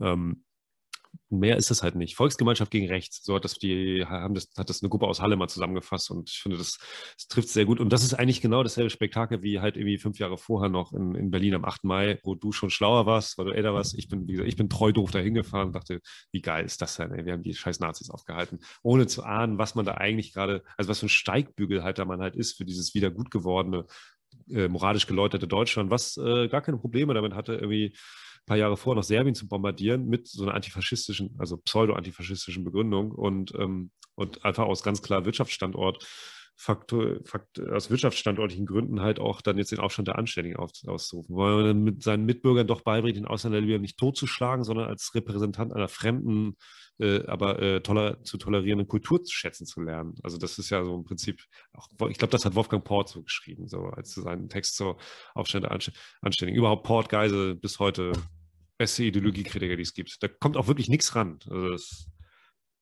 ja, konkret war er auch dabei. Gremnitzer hat ja damals äh, auch zum Glück noch gelebt. Das waren, also der, der Aderlass, gut, Eike Geisel ist 1997 schon gestorben, aber der Aderlass ist schon, schon wirklich immens an, an Leuten, die Kluges dazu zu sagen imstande waren. Jochen Brun, Manfred Dahlmann, die vor nicht allzu langer Zeit gestorben sind. Und das sind schon auch Leute, die, die sehr fehlen, finde ich, in ihrer, ihrer Art und mit ihren, mit ihren Beiträgen genau diesen zivilgesellschaftlichen Konsens immer wieder anzugreifen, einfach auch zu sagen, so, das, das kann nicht alles sein und schließt euch dem und den dahinterstehenden Zielen und Absichten einfach nicht an. Das, ja. Ähm, ja. Oh, jetzt haben wir einen Hänger. Das haben wir bislang noch gar nicht. Ähm, ja, wie ist denn so dein, du hast ja, äh, also ich, ich habe dich kennengelernt äh, über Lisas Welt. Das war natürlich auch ein Blog damals, der ähm, einfach bekannt war. Also, also ich glaube, ich habe 2000, also ja, wie gesagt, ich wurde in den frühen 2000ern politisiert, erst Punk und dann später so ab 2004 ging ich so in die autonome Szene. Und ähm, da kam man um diese ganzen innerlinken Debatten und Grabenkämpfe, äh, Antideutsche, Anti-Ims, beziehungsweise Antideutsche eigentlich versus die Restlinke, kam man einfach überhaupt nicht dran vorbei und man musste sich irgendwie positionieren. Und ich weiß auf jeden Fall noch, dass es auch in gewissen Antifa-Kreisen, MacPom zum Beispiel, da war ich vier, weil ich damals mit einer aus Greifswald zusammen war, die in Antifa-Greifswald war, äh, es war einfach teilweise auch in solchen Kreisen, gerade in ostdeutschen Antifa-Kreisen, war es einfach auch schick, so sich antideutsch zu geben und eine Israel-Flagge dabei zu haben, wenn man auf irgendeine Demo gefahren ist oder so.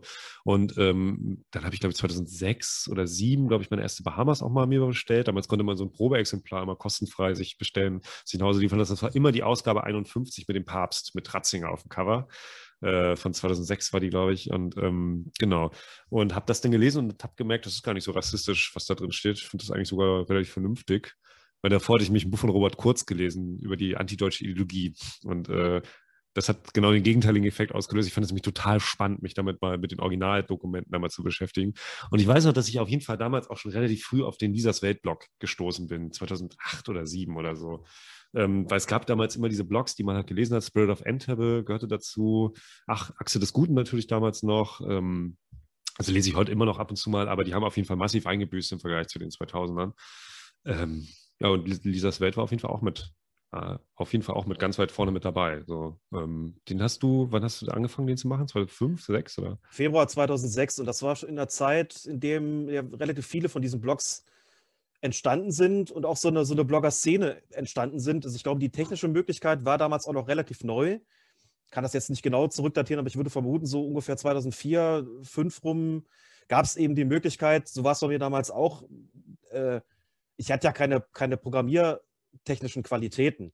So, aber die, die Möglichkeit, etwas im Internet, das ist ja nun auch schon jetzt eine ganze Weile wieder her, was im mhm. Internet zu publizieren, mit einfachen Mitteln, also ohne dass man sich da irgendwelche Baukästen kaufen muss und eine eigene Seite programmieren muss, die dann vielleicht noch schrecklich aussehen, sondern mit leichten und ganz einfachen Mitteln an so eine eigene Seite zu kommen. Das fand ich vollkommen faszinierend und wollte es gerne ausprobieren und war damals es, ich war noch in einer, in einer politischen Gruppe drin, die aber schon nicht mehr so wahnsinnig viel auf die Reihe bekommen hat, muss man ehrlicherweise dazu sagen. Und sich gleichzeitig so bestimmte Beschäftigungen, bestimmte Auseinandersetzungen haben sich schon so ein bisschen stärker ins Internet verlagert, auf diese, diese Blogs. Und ich fand es faszinierend, eine eigene Seite zu haben, die Möglichkeit, da das zu schreiben und zu veröffentlichen, was ich für wichtig halte habe am Anfang gedacht, ich weiß jetzt nicht, wozu, wozu das führt. Also äh, mein, mein, Vorbild war damals tatsächlich Spirit of Entebbe, ist mhm. im Blog schon genannt, ein Freund von mir, der mir gesagt hat, du, das ist ganz einfach, sowas, sowas zu machen. Ich kann dir gerne zeigen, wie das funktioniert.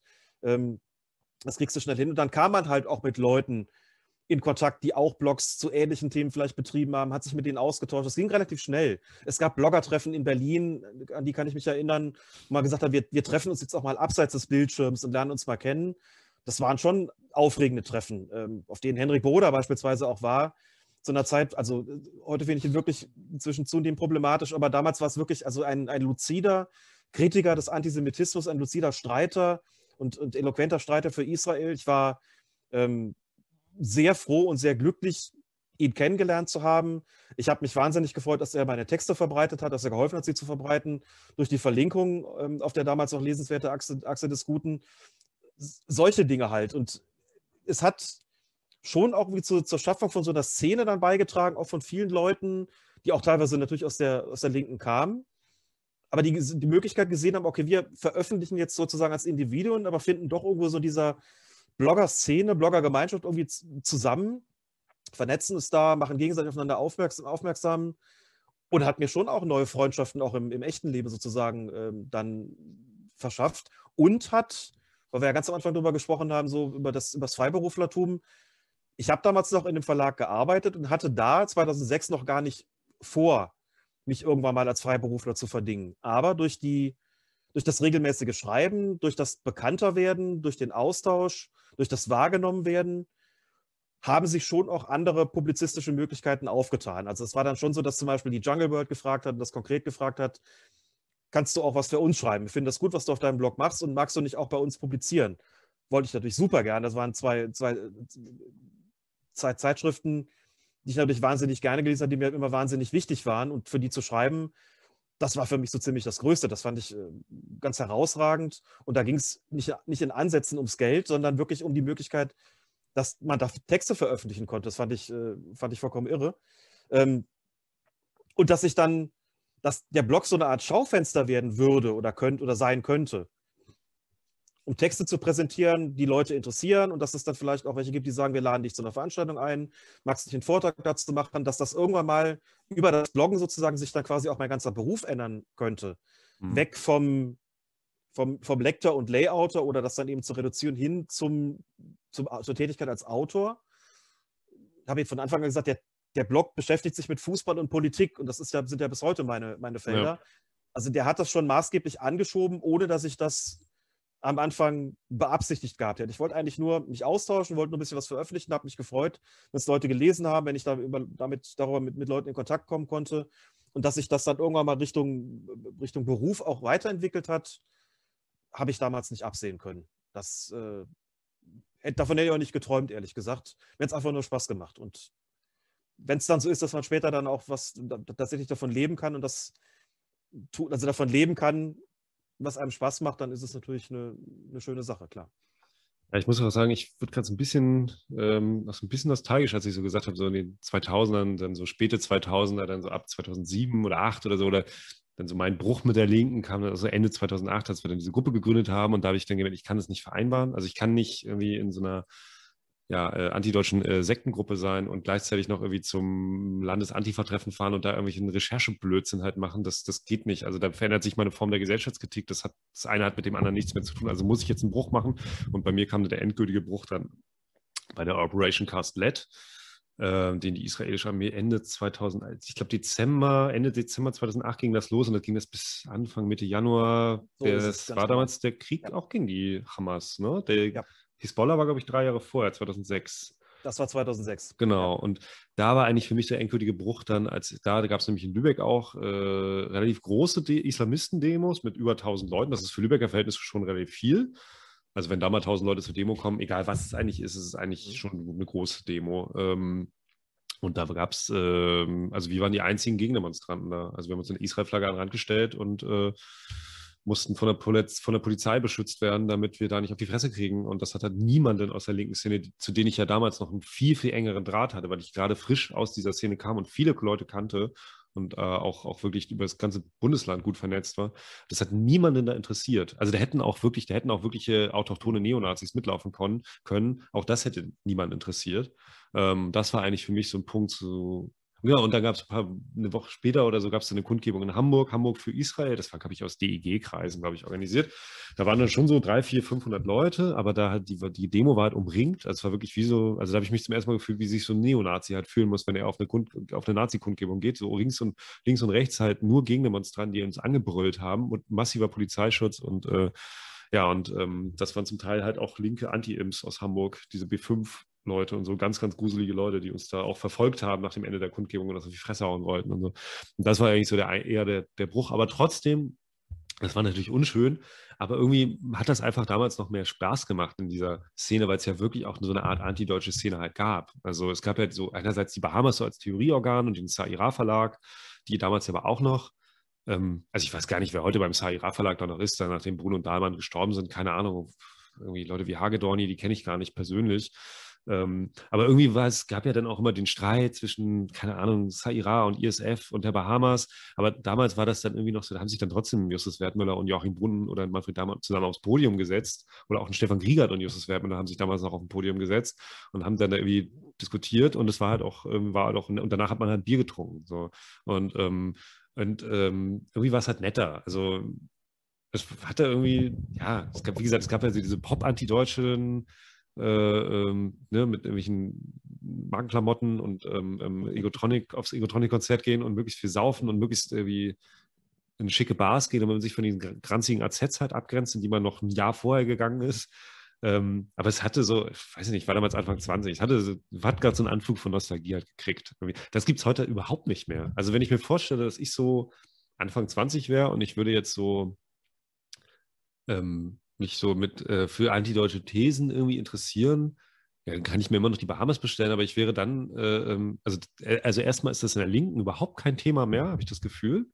Also nicht wie in den, neun, äh, wie in den 2000ern, wo man wirklich nicht drum herum kam nach 9-11 ähm, und nach dem Irakkrieg vor allem eigentlich, ähm, sich damit auseinandersetzen zu müssen und sich irgendwie auch zu positionieren. Ähm, das hat in der Linken überhaupt keine Relevanz mehr und ähm, ich finde auch diese, das hat sich alles so auf Facebook verlagert. Und du hast ja, glaube ich, du hast, machst ja deinen Blog halt aus Facebook-Seite, aber du hast ja keinen Privataccount. Sei froh. Es ist teilweise sind das absolute Schlangengruben, die sich da öffnen. Also es ist schön, weil man viele Leute so schnell kennenlernt äh, und dann irgendwann sich mal trifft auch. Und ähm, ich habe auch viele sehr nette Leute mittlerweile ähm, schon persönlich getroffen, die ich vorher auf Facebook dann kennengelernt habe. Ähm, und man kann auch einfach in Kontakt bleiben. Früher musste man immer zu Veranstaltungen hinfahren oder so. Das war in Lübeck ein bisschen schwierig, weil da musste man zumindest nach Hamburg fahren oder halt noch weiter weg. Ähm, aber ja, insgesamt äh, finde ich, hat sich da so eine ungute Diskussionskultur entwickelt und so eine ungute du magst mich nicht, da lösche ich dich halt oder auch so eine, so eine Like-Gier äh, und es ist unangenehm. Also das ist so ein bisschen das, was, ja, dieses, diese großen Nachteile, die Social Media halt mit sich bringt, setzt sich natürlich auch im Kleinen in dieser Bubble halt fort. So, und überhaupt der ähm, virtuelle Raum natürlich, das hat sich halt ja. wegverlagert von den Blogs, die sind im Prinzip tot. Es gibt sie noch, aber die spielen lange nicht mehr die Rolle, wie es dann vielleicht wirklich so zwischen 2006 und, ich weiß es gar nicht, 2013, 14 oder wann auch immer entwickelt hat, sondern verlagert sich tatsächlich viel auf Facebook oder auf andere oder auf Instagram teilweise auch, also irgendwelche Social Media Plattformen, wo es dann stattfindet. Und das, die Verlagerung in den virtuellen Raum, jetzt nicht nur pandemiebedingt, hat schon auch mit dazu beigetragen, dass diese Bewegungen, die es gibt, kleiner geworden sind, abgesehen davon, dass ich eben glaube, mit, mit Blick auf die Geschichte der linken Bewegungen und rechnen wir die Antideutschen einfach, einfach dazu, das glaube ich ist in dem Zusammenhang unproblematisch. Ja, klar. Haben halt schon alle mal ihre spezifischen Entstehungsbedingungen gehabt, ihre ihren Höhepunkt irgendwann gehabt, ihren Höhepunkt irgendwann auch überschritten, sind in ihren Zerfallsprozess eingetreten und das, das beobachten wir längst. Und diese Zerfallsprozesse bringen halt immer alle möglichen Skurrilitäten dann hervor. Also mir geht es da nicht unähnlich wie dir. Wenn ich an die Zeit zurückdenke, auch an die großen Kongresse beispielsweise, die die Bahamas ausgerichtet hat oder die auch andere ausgerichtet haben, wo es dann teilweise so in so einem Konkurrenzverhältnis zueinander stand. Ähm, das, an die denke ich gerne zurück, aber es ist heute auch so nicht mehr denkbar. Und da muss man, glaube ich, irgendwann auch so ehrlich sein zu sagen, gut, das, das gibt es halt nicht mehr. Es gibt sicherlich Erklärungen, warum das zerfallen ist, warum auch bestimmte Auseinandersetzungen da wahrscheinlich eher kontraproduktiv geworden sind. Manche Sachen laufen sich auch einfach tot. Irgendwann interessiert es dann auch keinen mehr und gewinnt auch nicht so zwingend an Relevanz. Die Gesellschaft entwickelt sich in eine andere Richtung weiter. Ja. Und manchmal ist es auch ganz einfach so, das meine ich jetzt überhaupt noch nicht mal, nicht mal negativ oder bösartig oder kritisch. Es, es gibt dann schon auch, auch Leute, die vielleicht gerade auch wahrnehmbar gewesen sind in diesen Bewegungen, vielleicht nicht unbedingt mal an, an führender Stelle, aber die dann wirklich auch, also das absorbiert sich dann auch hinein, teilweise in irgendwelche Stellen. Also ich schätze die Arbeit der Amaneo Antonio Stiftung zum Beispiel sehr, aber da sind halt schon auch Leute gelandet, die aus dieser Szene kommen ja. und die davon jetzt leben können. Und ich bin ja selber einer, der gut als Freiberufler, nicht als Mitarbeiter einer Stiftung, aber das ist, glaube ich, auch ein relativ normaler Weg zunächst mal, dass man sagt, okay, irgendwann versucht man halt vielleicht auch, und man, man, natürlich hat man ja auch versucht, damit einen gewissen gesellschaftlichen Einfluss, und wenn es eben in Anführungszeichen nur innerhalb der Linken ist oder eben auch gegen die Linke ist, zu erreichen, führt das dann, glaube ich, auch dazu, dass man, dass es so dieses, man bekommt dann Stellen an der Uni, viele haben ja noch studiert zur, zur damaligen Zeit, oder in Stiftungen oder wo auch immer. Ich glaube, das ist so ein ziemlich normaler Prozess, der da stattfindet und der auch schon in anderen linken Bewegungen stattgefunden hat und ganz ähnliche Ergebnisse hervorgebracht hat. Und ja, nicht in Stiftung, ne? Also das ist ja auch nee, irgendwie ja. Ähm, auch bei auch medial dann, also auch in, in, in auch medial, ähm, ganz wichtig natürlich. Springerpresse auf jeden Fall. Also ja, Thomas Osten-Sacken schreibt, äh, Thomas Osten-Sacken und Thomas Uwe haben beide viel für die Welt geschrieben. Ja. Ähm, ähm, die Sarah Rukai zum Beispiel äh, schreibt ja auch für die FAZ und für die Cicero, wobei ich glaube, die, die, kommt jetzt nicht so, kommt jetzt nicht so aus dieser klassischen antideutschen Szene, aus der wir jetzt so kommen, ja aus den 90ern, 2000ern. Ähm, aber ja, klar, das gibt es natürlich auch. Also ich glaube auch der Philipp Piatow, der für die Bild schreibt, meine ich auch mal gehört zu haben, dass der ursprünglich auch so ein bisschen aus dieser links-antideutsch angehauchten Jungle World-Szene kommt, aus Berlin. Ähm, ist mittlerweile irgendwie, ähm, schreibt halt so seine Artikel zu Antisemitismus in Israel für die Bild-Zeitung und findet da sein Auskommen und so. Also klar, das wird natürlich immer noch absorbiert geht mir ja nicht anders. Also, ähm, und dir geht, gut, wie gesagt, du bist Freiberufler, ich bin auch Freiberufler, aber ich habe ja auch eine Stiftung hinter mir, die mich gut bezahlt und für die ich halt immer arbeiten kann und für die ich natürlich auch irgendwie Themen einbringen kann, die hm, mich halt bewegen und wo ich auch da auch, ähm, wenn ich für die halt äh, Thema, also wenn ich dich für die einlade, dann ist es einfach auch so, dass ich da halt noch eher ein Publikum vor mir sitzen habe, mhm. ähm, wo ich merke, da gibt es noch eine Offenheit dafür. Also das wäre bei, keine Ahnung, bei manchen anderen Stiftungen vielleicht schwieriger. Also bei der Rosa-Luxemburg-Stiftung wäre es vielleicht schwieriger, dich unterzubringen, als jetzt bei der, für die ich arbeite, die eher liberal gesinnt ist. Genau, aber irgendwie, ja, ich weiß, worauf, also ich weiß, was du meinst. So, genau. Aber ich merke es da selber auch beispielsweise daran, wenn ich mal so gucke, ab 2000, was nehmen wir denn mal, 2006, 2007, also hatte auch vorher schon Vorträge, äh, gemacht, aber da war das zum Beispiel eher das, dieses Buch zur Geschichte der KPD, an dem ich mitgeschrieben habe, da haben wir halt dazu viele Veranstaltungen gehabt, aber dann so ab 2000, eigentlich mit der Bloggründung nahm so dann auch relativ bald die Zahl der Veranstaltungen zu. Und ich gucke, von wem ich da eingeladen worden bin und wo ich da gesprochen habe, da waren schon auch noch viele Gruppen und Organisationen dabei, also entweder die halt wirklich so AStA finanziert waren oder eben wirklich aus diesem klassischen, sagen wir mal, antideutschen Spektrum im weitesten Sinne mit allen Schattierungen, die es da gab, ähm, die kamen eigentlich aus, aus diesem Spektrum. Und da bin ich relativ häufig da gewesen und hat sich dann später deutlich stärker verlagert hin eben zu Stiftungen, zur deutsch-israelischen Gesellschaft und den ganzen Arbeitsgemeinschaften, Gesellschaft für christlich-jüdische Zusammenarbeit, was auch immer, mhm. teilweise staatliche Einrichtungen so, dass das ist vollkommen okay und auch ein, auch ein wahrscheinlich ein recht normaler Weg, aber mir ist es schon irgendwann noch aufgefallen, ich rede dann jetzt auch tatsächlich weniger in irgendwelchen Zentren, die es auch immer weniger gibt, und bei, es sind nicht irgendwelche Antifa-Gruppen oder antideutsche Gruppen, die mich einladen, wo es darum geht, jetzt ähm, da auch ähm, vielleicht so eine gewisse Diskussion voranzubringen, auch im gemeinsamen Austausch, sondern teilweise eben heute, wenn es Jüngere sind, was ich ja sehr mag, sind es halt irgendwelche studentischen, studentischen Gruppen oder beispielsweise das junge Forum der deutsch-israelischen Gesellschaft, wo mhm. viele gelandet sind, die heute Israel-solidarische Arbeit machen, die eine ganz hervorragende Arbeit machen, finde ich. Und da bin ich auch immer ganz ausgesprochen gerne.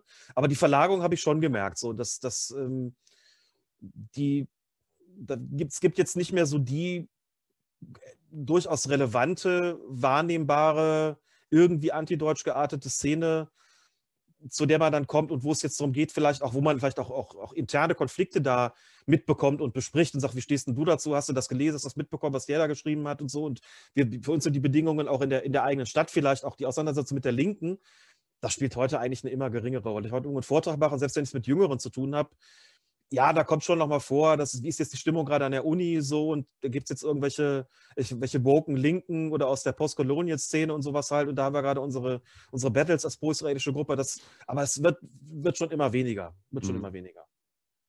So, und das ist natürlich auch, also für, mich so als, als irgendwo immer noch so ein bisschen, weiß ich gar nicht, wie ich das nenne, so ein bisschen Oldschool-Antideutschen, bedauere ich teilweise manche Entwicklungen auch sehr, die da, die da stattgefunden haben und immer noch stattfinden und bin manchmal auch ganz froh, wie du schon gesagt hast, bestimmte Auseinandersetzungen auf Facebook dann nicht mitzubekommen. Manchmal ja. schwappen sie dann über irgendwelche anderen Kanäle rein, denke mir so, wow, habe ich auch mal gerne gelesen, kann ich heute nicht mehr, nicht mehr machen. Und manche Entwicklungen finde ich schon sehr bedauerlich und auch manche, dass manche Grundsätze vielleicht nicht mehr so vertreten werden. Also ich nur mal um ein, ein ja, vielleicht dann doch am Ende gar nicht so beliebiges Beispiel zu nennen. Also mich wird man, mich wird man nie zu jemandem erziehen, dem irgendwie Schwarz-Rot-Gold egal ist. Ähm, ich kann das immer noch nicht haben, irgendwelche schwarz-rot-goldenen Fahnenaufmärsche, auch im Zuge irgendwelcher Fußballspiele. Und ich glaube, das wird auch nie anders werden. Also es gibt schon immer so ein, also es gibt so bestimmte gute alte Grundsätze der, der Antideutschen, die mir nach wie vor wirklich total wichtig sind, auch in der, in der Israel-solidarischen Arbeit, wo ich so ein bisschen schade finde, in welcher, also wohin das teilweise irgendwie abgeglitten ist und komme mir da aber manchmal auch eben dann inzwischen sehr altbacken vor. Äh, mit den Dingen, aber habe es dann halt auch in, an der Stelle irgendwo weiterentwickelt. Also es mit Florian Makel halt zwei Bücher zusammen gemacht habe. Wie gesagt, aber gut, dann tragen wir das, was wir irgendwie gelernt haben und das wir uns erarbeitet haben, in anderer Form zusammen und auch irgendwo vor ähm, und versuchen damit halt Leute zu erreichen. Und natürlich ist mir die, sind mir die Arbeitsgemeinschaft der deutsch-israelischen Gesellschaft vollkommen recht. Und ich finde es äh, vor allem gut, dass sie nach langer Zeit, in dem sich wenig getan hat, sind viele davon wirklich wieder zu Leben erwacht und machen auch ganz, ganz viel.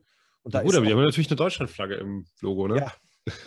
also. Ich bitte dann auch immer darum, dass der Raum nicht so geschmückt sein möge, dass ich vor Schwarz-Rot-Gold auftreten muss. Also das ist mir schon nach wie vor immer noch da reagiere ich immer noch idiosynkratisch drauf. Ja, ach, naja, ich, ja, also ich weiß, ich weiß, was du meinst. Ähm, ich, ähm, ja, also ich finde, also ja, ich habe, glaube ich, auch noch so eine, so eine Oldschool-Abneigung irgendwie äh, gegenüber. Also ich gehe, weiß ich nicht, also so, wobei Fußball-WM, diese ganze Party-Patriotismus hat sich ja eh erledigt. Das ist ja eh seit 2018 eigentlich auch eh obsolet. Das ja. äh, gab es mal zehn Jahre und dann ist das eigentlich mittlerweile auch seit dem desaströsen Abschneiden der Deutschen 2018 ja eh, hat sich das eh erledigt und äh, ich, ich habe dieses Jahr die EM einfach überhaupt nicht wahrgenommen, ehrlich gesagt. Das ging völlig an mir vorbei. Ähm, ähm, ja, aber natürlich fand man das damals irgendwie unangenehm und ähm, ja, ich weiß, was du meinst. So. Also, wobei ich jetzt, glaube ich, auf einer pro-israelischen Kundgebung, die sowieso ja meistens sehr spärlich besucht sind und die es eh kaum gibt, würde mich auch eine Deutschlandfahne jetzt nicht so stören. Also ich würde davon nicht, also ich würde die Kundgebung nicht deshalb verlassen. Also dafür ist mir der Anlass einfach viel zu wichtig. Und ähm, ich habe jetzt das gerade wieder mitbekommen, äh, jetzt gab es ja in Hamburg eine, wirklich eine Mini-Kundgebung mit 50, 60 Leuten. Ich war nicht da, es war jetzt letzten Samstag. Ähm, da war ich schon in Leipzig und ähm, also eine Solidaritätsmahnwache, die gibt es ja eher regelmäßig, diese Mahnwachen für Israel. Das kommt eher aus christlichen Kreisen ähm, und jetzt gab es halt eine, mal eine bisschen größere Resonanz nach diesem, ja, äh, nach diesem, nachdem dieser 60-jährige Jude äh, ins Krankenhaus geprügelt wurde von einem arabischen Antisemiten. Da waren dann 60 Leute da, das ist ja nichts. Mhm. Und dann äh, war auch äh, als einzige politische Vertret, also politisch bekannte Kraft, neben ein paar Linken und ähm, ein paar Exil-Iranern, ähm, waren dann äh, äh, die Junge Union da. Und ich habe mit der Junge Union jetzt politisch nichts zu tun. Ähm, ich finde die jetzt, weiß nicht, ich, die, ich wähle die CDU nicht so. Ich finde die Junge Union jetzt aber auch nicht, ist jetzt für mich nicht mein Feind. Also, ähm, und ich würde vor allem deshalb nicht eine Kundgebung pro Israel, die sich mit einem ins Krankenhaus geprügelten Juden halt solidarisiert, würde ich ganz Nein. bestimmt deshalb nicht verlassen. So, ich wüsste da die nicht Grenze mal, auch noch nicht erreicht. Nee, ja. also selbst wenn die JU da jetzt eine Deutschlandfahne mitgenommen hätte, ja, dann wäre es mir auch egal. Also ich, ich selber trage sie halt nicht so. Ähm, ich weiß auch, dass Deutschland, Deutschland, die Bundesrepublik Deutschland, für die die Schwarz-Rot-Gold steht, ist kein verlässlicher Bündnispartner Israels. Ähm, zumindest nicht unter der aktuellen, also zumindest nicht so, wie dieses Kabinett momentan aufgestellt ist. Und es wird nicht besser werden in nächster Zeit. Da bin ich fest von überzeugt, nach dem Wahlsieg von Olaf Scholz. Ähm, also würde ich halt natürlich niemals eine schwarz-rot-goldene Fahne tragen. Ähm, aber ich habe jetzt auch kein Problem damit, wenn die JU da jetzt eine mitgebracht hätte. Aber es gab dann natürlich wieder auf in Social Media gab es natürlich Diskussionen von irgendwelchen verklatschten Linken, ähm, die gesagt haben, ja, ich bin ja auch pro-israelisch, aber äh, ich machte mich doch nicht mit irgendwelchen rechten anti-arabischen Rassisten gemein. Und wo, wo, also wo ist die JU denn jetzt eine rechte anti-arabisch-rassistische Bewegung? Also, ja gut, das ist natürlich Quatsch. Ich meine das jetzt auch gar nicht, geht jetzt auch nicht um, um einzelne Fahnensymboliken oder sowas. Und also vielleicht zwei, zwei Dinge dazu. So zum einen, ähm, ist mir schon aber daran gelegen, also die, die ganze Pro-Israel-Arbeit, die, ich ja, die ich ja auch mache, das merkt man manchmal bei der Gesellschaft für christlich-jüdische Zusammenarbeit schon mit, mit das älteren Publikum und auch mit bei der deutsch-israelischen Gesellschaft. Da sind dann schon immer wieder auch relativ viele Leute dabei, die ganz, die ganz furchtbar darunter leiden, dass ihr geliebtes Deutschland eben nicht so ein verlässlicher Bündnispartner ist. Also die schon so aus, denen das ganz wichtig wäre, dass das jetzt auch gerade Deutschland ist, weil sie, weil sie es ja irgendwie so, so großartig finden. Und dem muss man dann, dann schon mal vielleicht mal klar machen, was deutsche Ideologie bedeutet. Ähm, und möchte mich dann auch schon davon abgrenzen, sagen, ich mache das hier nicht, nicht irgendwie für Deutschland oder sowas oder um diesem Land zu einem besseren Ruf äh, zu verhelfen, den es nicht verdient. Also das wäre dann schon eher so meine Abgrenzung. Das ist so das eine. Das andere, also nach zweiter Intifada und dann auch vor allem nach 9-11. Also ich sag's mal so, ich bin ähm, insgesamt, ich glaube, sechs oder sieben Jahre im Bonner Studierendenparlament gewesen und das waren Jahre, da habe ich jetzt mit den Leuten vom, vom, vom RCDS äh, oder auch der liberalen Hochschulgruppe jetzt eher, eher nicht so viel geredet. Ne? Mhm. Und auch nicht so, nicht so wirklich gerne geredet, offen gestanden und es beruhte auf absoluter Gegenseitigkeit. Ähm, mit wem, also nein, gerade 9-11 hat dann schon doch mal gemacht, dass man sich hinsichtlich der Leute, bei denen man so eine gewisse Restvernunft sieht, dann doch mal neu orientiert hat. Also zum einen, du hast ja auch schon gesprochen, Bruch mit der Linken das hat mich viele Freundschaften gekostet und herb, mir auch herbe Enttäuschungen eingebracht. Also zu sehen, dass Leute äh, feiern, wenn da die Twin Towers in New York angegriffen werden und das für ein, eine antiimperialistische Tat halten. Wir haben es ja schon besprochen, müssen wir nicht nochmal tun. Das war schon, das war der blanke Horror und da gab es dann auch eine ganze Reihe von Leuten, mit denen ich dann keine Lust mehr hatte zu reden, wo dann auch, wo wir dann auch die Straßenseite gewechselt haben. Und auf der anderen Seite habe ich Freundschaften, also geschlossen mit, mit Leuten, mit denen ich früher wahrscheinlich nicht mal unbedingt geredet hätte. So, da waren dann schon auch welche dabei, die aus diesem ähm, also diesen pro-israelischen Kreisen, das ist mir dann auch einfach irgendwann wichtiger gewesen. Was ist die Position? Sind das Transatlantiker? Was haben sie für eine Position zu Israel? Was haben sie für eine Position zu den USA? Ich habe immer klar gemacht, ich komme aus der Linken. Und das ist mein Standpunkt, warum ich da hingekommen bin, war schon immer auch klar. Da gibt es eine klare Abgrenzung. Aber Leute, die mir sagen, sie sind pro-israelisch, ähm, sie stehen ein für die, für die absolute Verteidigung dieses Landes und auch für seinen, für seinen Schutz. Ähm, sehe die USA als, als wichtigen Bündnispartner an und so weiter und so fort. Das sind dann halt, also wenn ich, wenn ich merke, wenn ich Michel Friedmann zuhöre, einem CDUler, und nicke dauernd bei den Sachen, die der sagt, und gleichzeitig schüttel ich den Kopf, wenn ich einen aus der Linkspartei höre, dann ist mir schon klar, okay, also so strikt kann man irgendwie sich seine Bündnispartner nicht mehr voneinander abgrenzen, dass ja. man sagt, mit dem rede ich nicht, äh, weil er in der CDU ist und mit dem rede ich aber auf jeden Fall, weil er der Linkspartei ist, obwohl er nur Bullshit erzählt. So das hat sich natürlich schon, schon massiv verändert, aber diese, diese Grundhaltung, so ich mache hier irgendwie nichts für Deutschland, ähm, sondern in, in, kritischer Absicht und äh, gerade antisemitismuskritischer Absicht und natürlich auch, sagen wir mal, um es etwas verkürzt zu formulieren, ich fand ja schon dann eben spätestens seit Mitte, Ende der 90er Jahre, dass es die vornehme Aufgabe und Pflicht eines und einer jeden Linken auch sein sollte, sich für nicht, nicht nur gegen Antisemitismus jedweder Couleur einzusetzen, sondern ganz selbstverständlich auch für den einzigen jüdischen Staat, für Israel. So, das sollte eine linke Aufgabe sein. Dass das nicht so ist, hat benennbare Gründe und die sind schlecht. Habe aber eigentlich immer bei den Veranstaltungen auch gesagt, ich komme aus einer völlig anderen Ecke und gerade nicht trotzdem, sondern eigentlich gerade deswegen würde ich es als Verpflichtung sehen. Gerade wenn man irgendwie von den Lehren aus der Shoah spricht und, und deutscher Geschichte, sollte das eben so sein. Und dass eben Leute, um dann nochmal auf unseren Anfang zurückzukommen, dass Leute sozusagen gerade die sogenannte Israel-Kritik als Ergebnis der deutschen Vergangenheitsbewältigung sehen. Das zeichnet ja auch so die ganzen moralische Verwerflichkeit dieser Diskussionen eben aus. Ne? Dass sie sich eben hinstellen und sagen, gerade weil wir die Vergangenheit so gründlich aufgearbeitet haben, gehen wir jetzt daran, mir den Finger mal auf die zu zeigen, die es auch mal tun sollten, die alten Feinde des deutschen Volkes, nicht wahr? Und das sind natürlich in erster Linie die Juden. So, und das ja, finde ich schon genau. nach wie vor sehr nötig, das deutlich zu machen. Äh, und ist mir natürlich an der Stelle immer auch ein Antrieb. Und gerade deswegen reagiere ich auch so allergisch und aggressiv darauf, wenn so ein Engagement und so ein Einsatz dann eben als irgendwie rechts geframed wird. Das bin ich nicht, das werde ich nie sein. Und dagegen verwahre ich mich wirklich auch in aller Form. Ja, ich glaube, ähm, ja, dass das als rechts geframed wird, hat eher was damit, ne? Also, weil ähm, die Verteidigung Israels ist ja deutsche Staatsräson oder die Israel-Solidarität ist ähm, laut Angela Merkel deutsche Staatsräson und äh, was deutsche Staatsräson ist, ist halt herrschende Klasse, also rechts. Äh, ich glaube, so einfach lässt sich das ähm, genau. Ich und, fürchte, ja, äh, genau. Und äh, Israel, ne, David gegen Goliath, man kennt es ja, äh, ähm, die Palästinenser als Opfer der Opfer. Naja, keine Ahnung, das hat ja Wolfgang Port alles schon in den 80ern beschrieben. In Entlastung, Entlastung für Auschwitz, glaube ich, war einer seiner genau. ersten Texte, die ich gelesen habe, brillant bis heute. Und das ist ja eigentlich schon 1982 alles dazu gesagt worden, oder 84, wenn man das geschrieben hat, ist schon eigentlich alles gesagt worden. Genau, ich würde äh, tatsächlich. Aber äh, genau, aber noch ein letztes, genau den, den Kern. Also das, was Port und was Geisel und zu seinen wirklich besten Zeiten Bruder gesagt, getan, geschrieben haben, Gremnitzer, ich finde, das gilt es zu bewahren. Das, äh, viele Wahrheiten haben einen Zeitkern, aber es ist auch nicht zufällig. Und ich finde es gut, dass Klaus Bittermann, der Verleger von, von und Tiamat, dann irgendwann drangegangen ist, die Schriften von Eike Geisel neu aufzulegen. Wir haben 2017. Port ja auch, ne?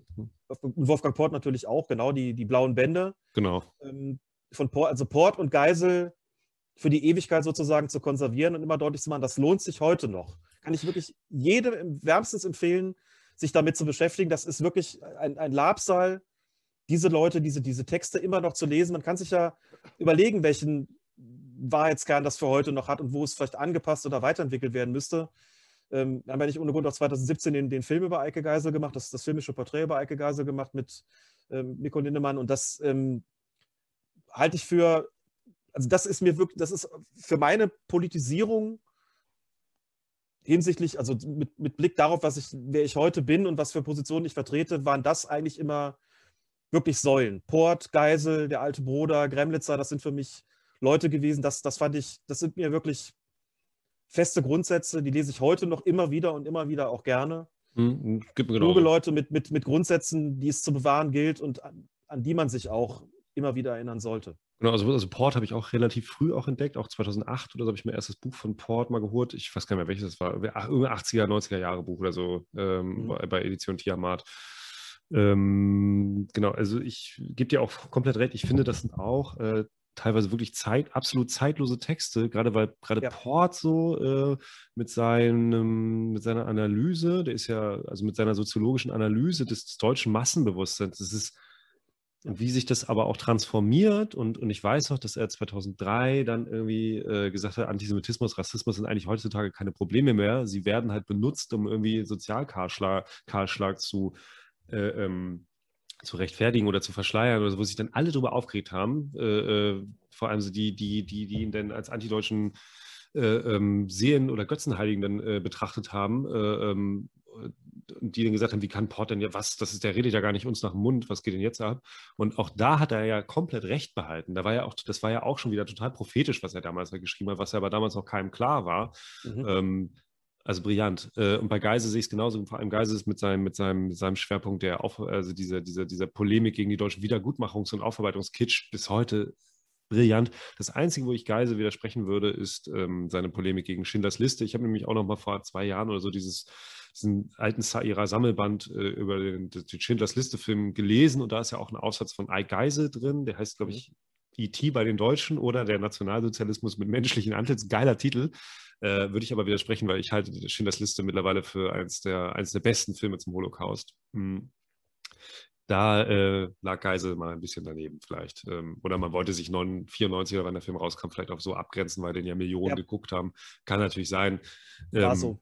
Hat ne? definitiv ne? in, der, in der Zeit, weiß ich auch noch, die Auseinandersetzung damals, äh, wie die Texte auch sehr wichtig waren. Das ist dann vielleicht eine Wahrheit, die nochmal einen anderen Zeitkern hatte, ist aber tatsächlich so gewesen. Da ging es schon auch um diese Wiedergutwerdung und äh, so die, die guten Nazis sozusagen zu entdecken. Das muss man wirklich im Kontext sehen und so hat er den Film auch bewertet, in Abgrenzung zu vielen anderen. Das sind dann auch Leute gewesen, die dahin gegangen sind, wo es wehgetan haben, die eben anderen nicht nach dem Mund geredet haben, wo es nicht darum ging, irgendeine Form von, von Massenkompatibilität zu erreichen. Und die Kritik der deutschen Zustände, die diese Leute sie geäußert haben, die finde ich bis heute wichtig, nach wie vor wichtig und, und würdigenswert. Und das wäre dann sozusagen, wenn ich mich da so als, als, also die hätten ja von sich nicht gesagt, dass sie Antideutsche wären, aber das ist für mich noch so wirklich äh, Oldschool Antideutschtum at its best sozusagen und äh, auch was, was mich, womit ich mich nachher wirklich immer noch nach wie vor sehr gerne beschäftige. Ähm, äh, genau, wir haben Broder, Port, Geisel und Gremlitzer genannt. Äh, Gremlitzer war ich nie so Fan von, habe ich auch nie so mitverfolgt. Ich war aber auch nie der Konkretleser, ehrlich gesagt. Ähm, ähm, außerdem ist mir Gremlitzer auch im Alter auch deutlich unsympathischer geworden mit seinem komischen Pipi-Kaka-Fäkalhumor und seiner Russland-Begeisterung. So. War ein bisschen schräg, aber ich kenne natürlich auch Texte von Gremlitzer, äh, die ich auch geil finde. Also seine frühen 90er-Jahre-Polemiken gegen die, gegen die Friedensdemonstranten und so. Und ähm, klar, also da hat Gremlitz auch gute Sachen geschrieben. Aber habe ich im Großen und Ganzen nie verfolgt. Mal, kennst du Christian Schulz-Gerstein?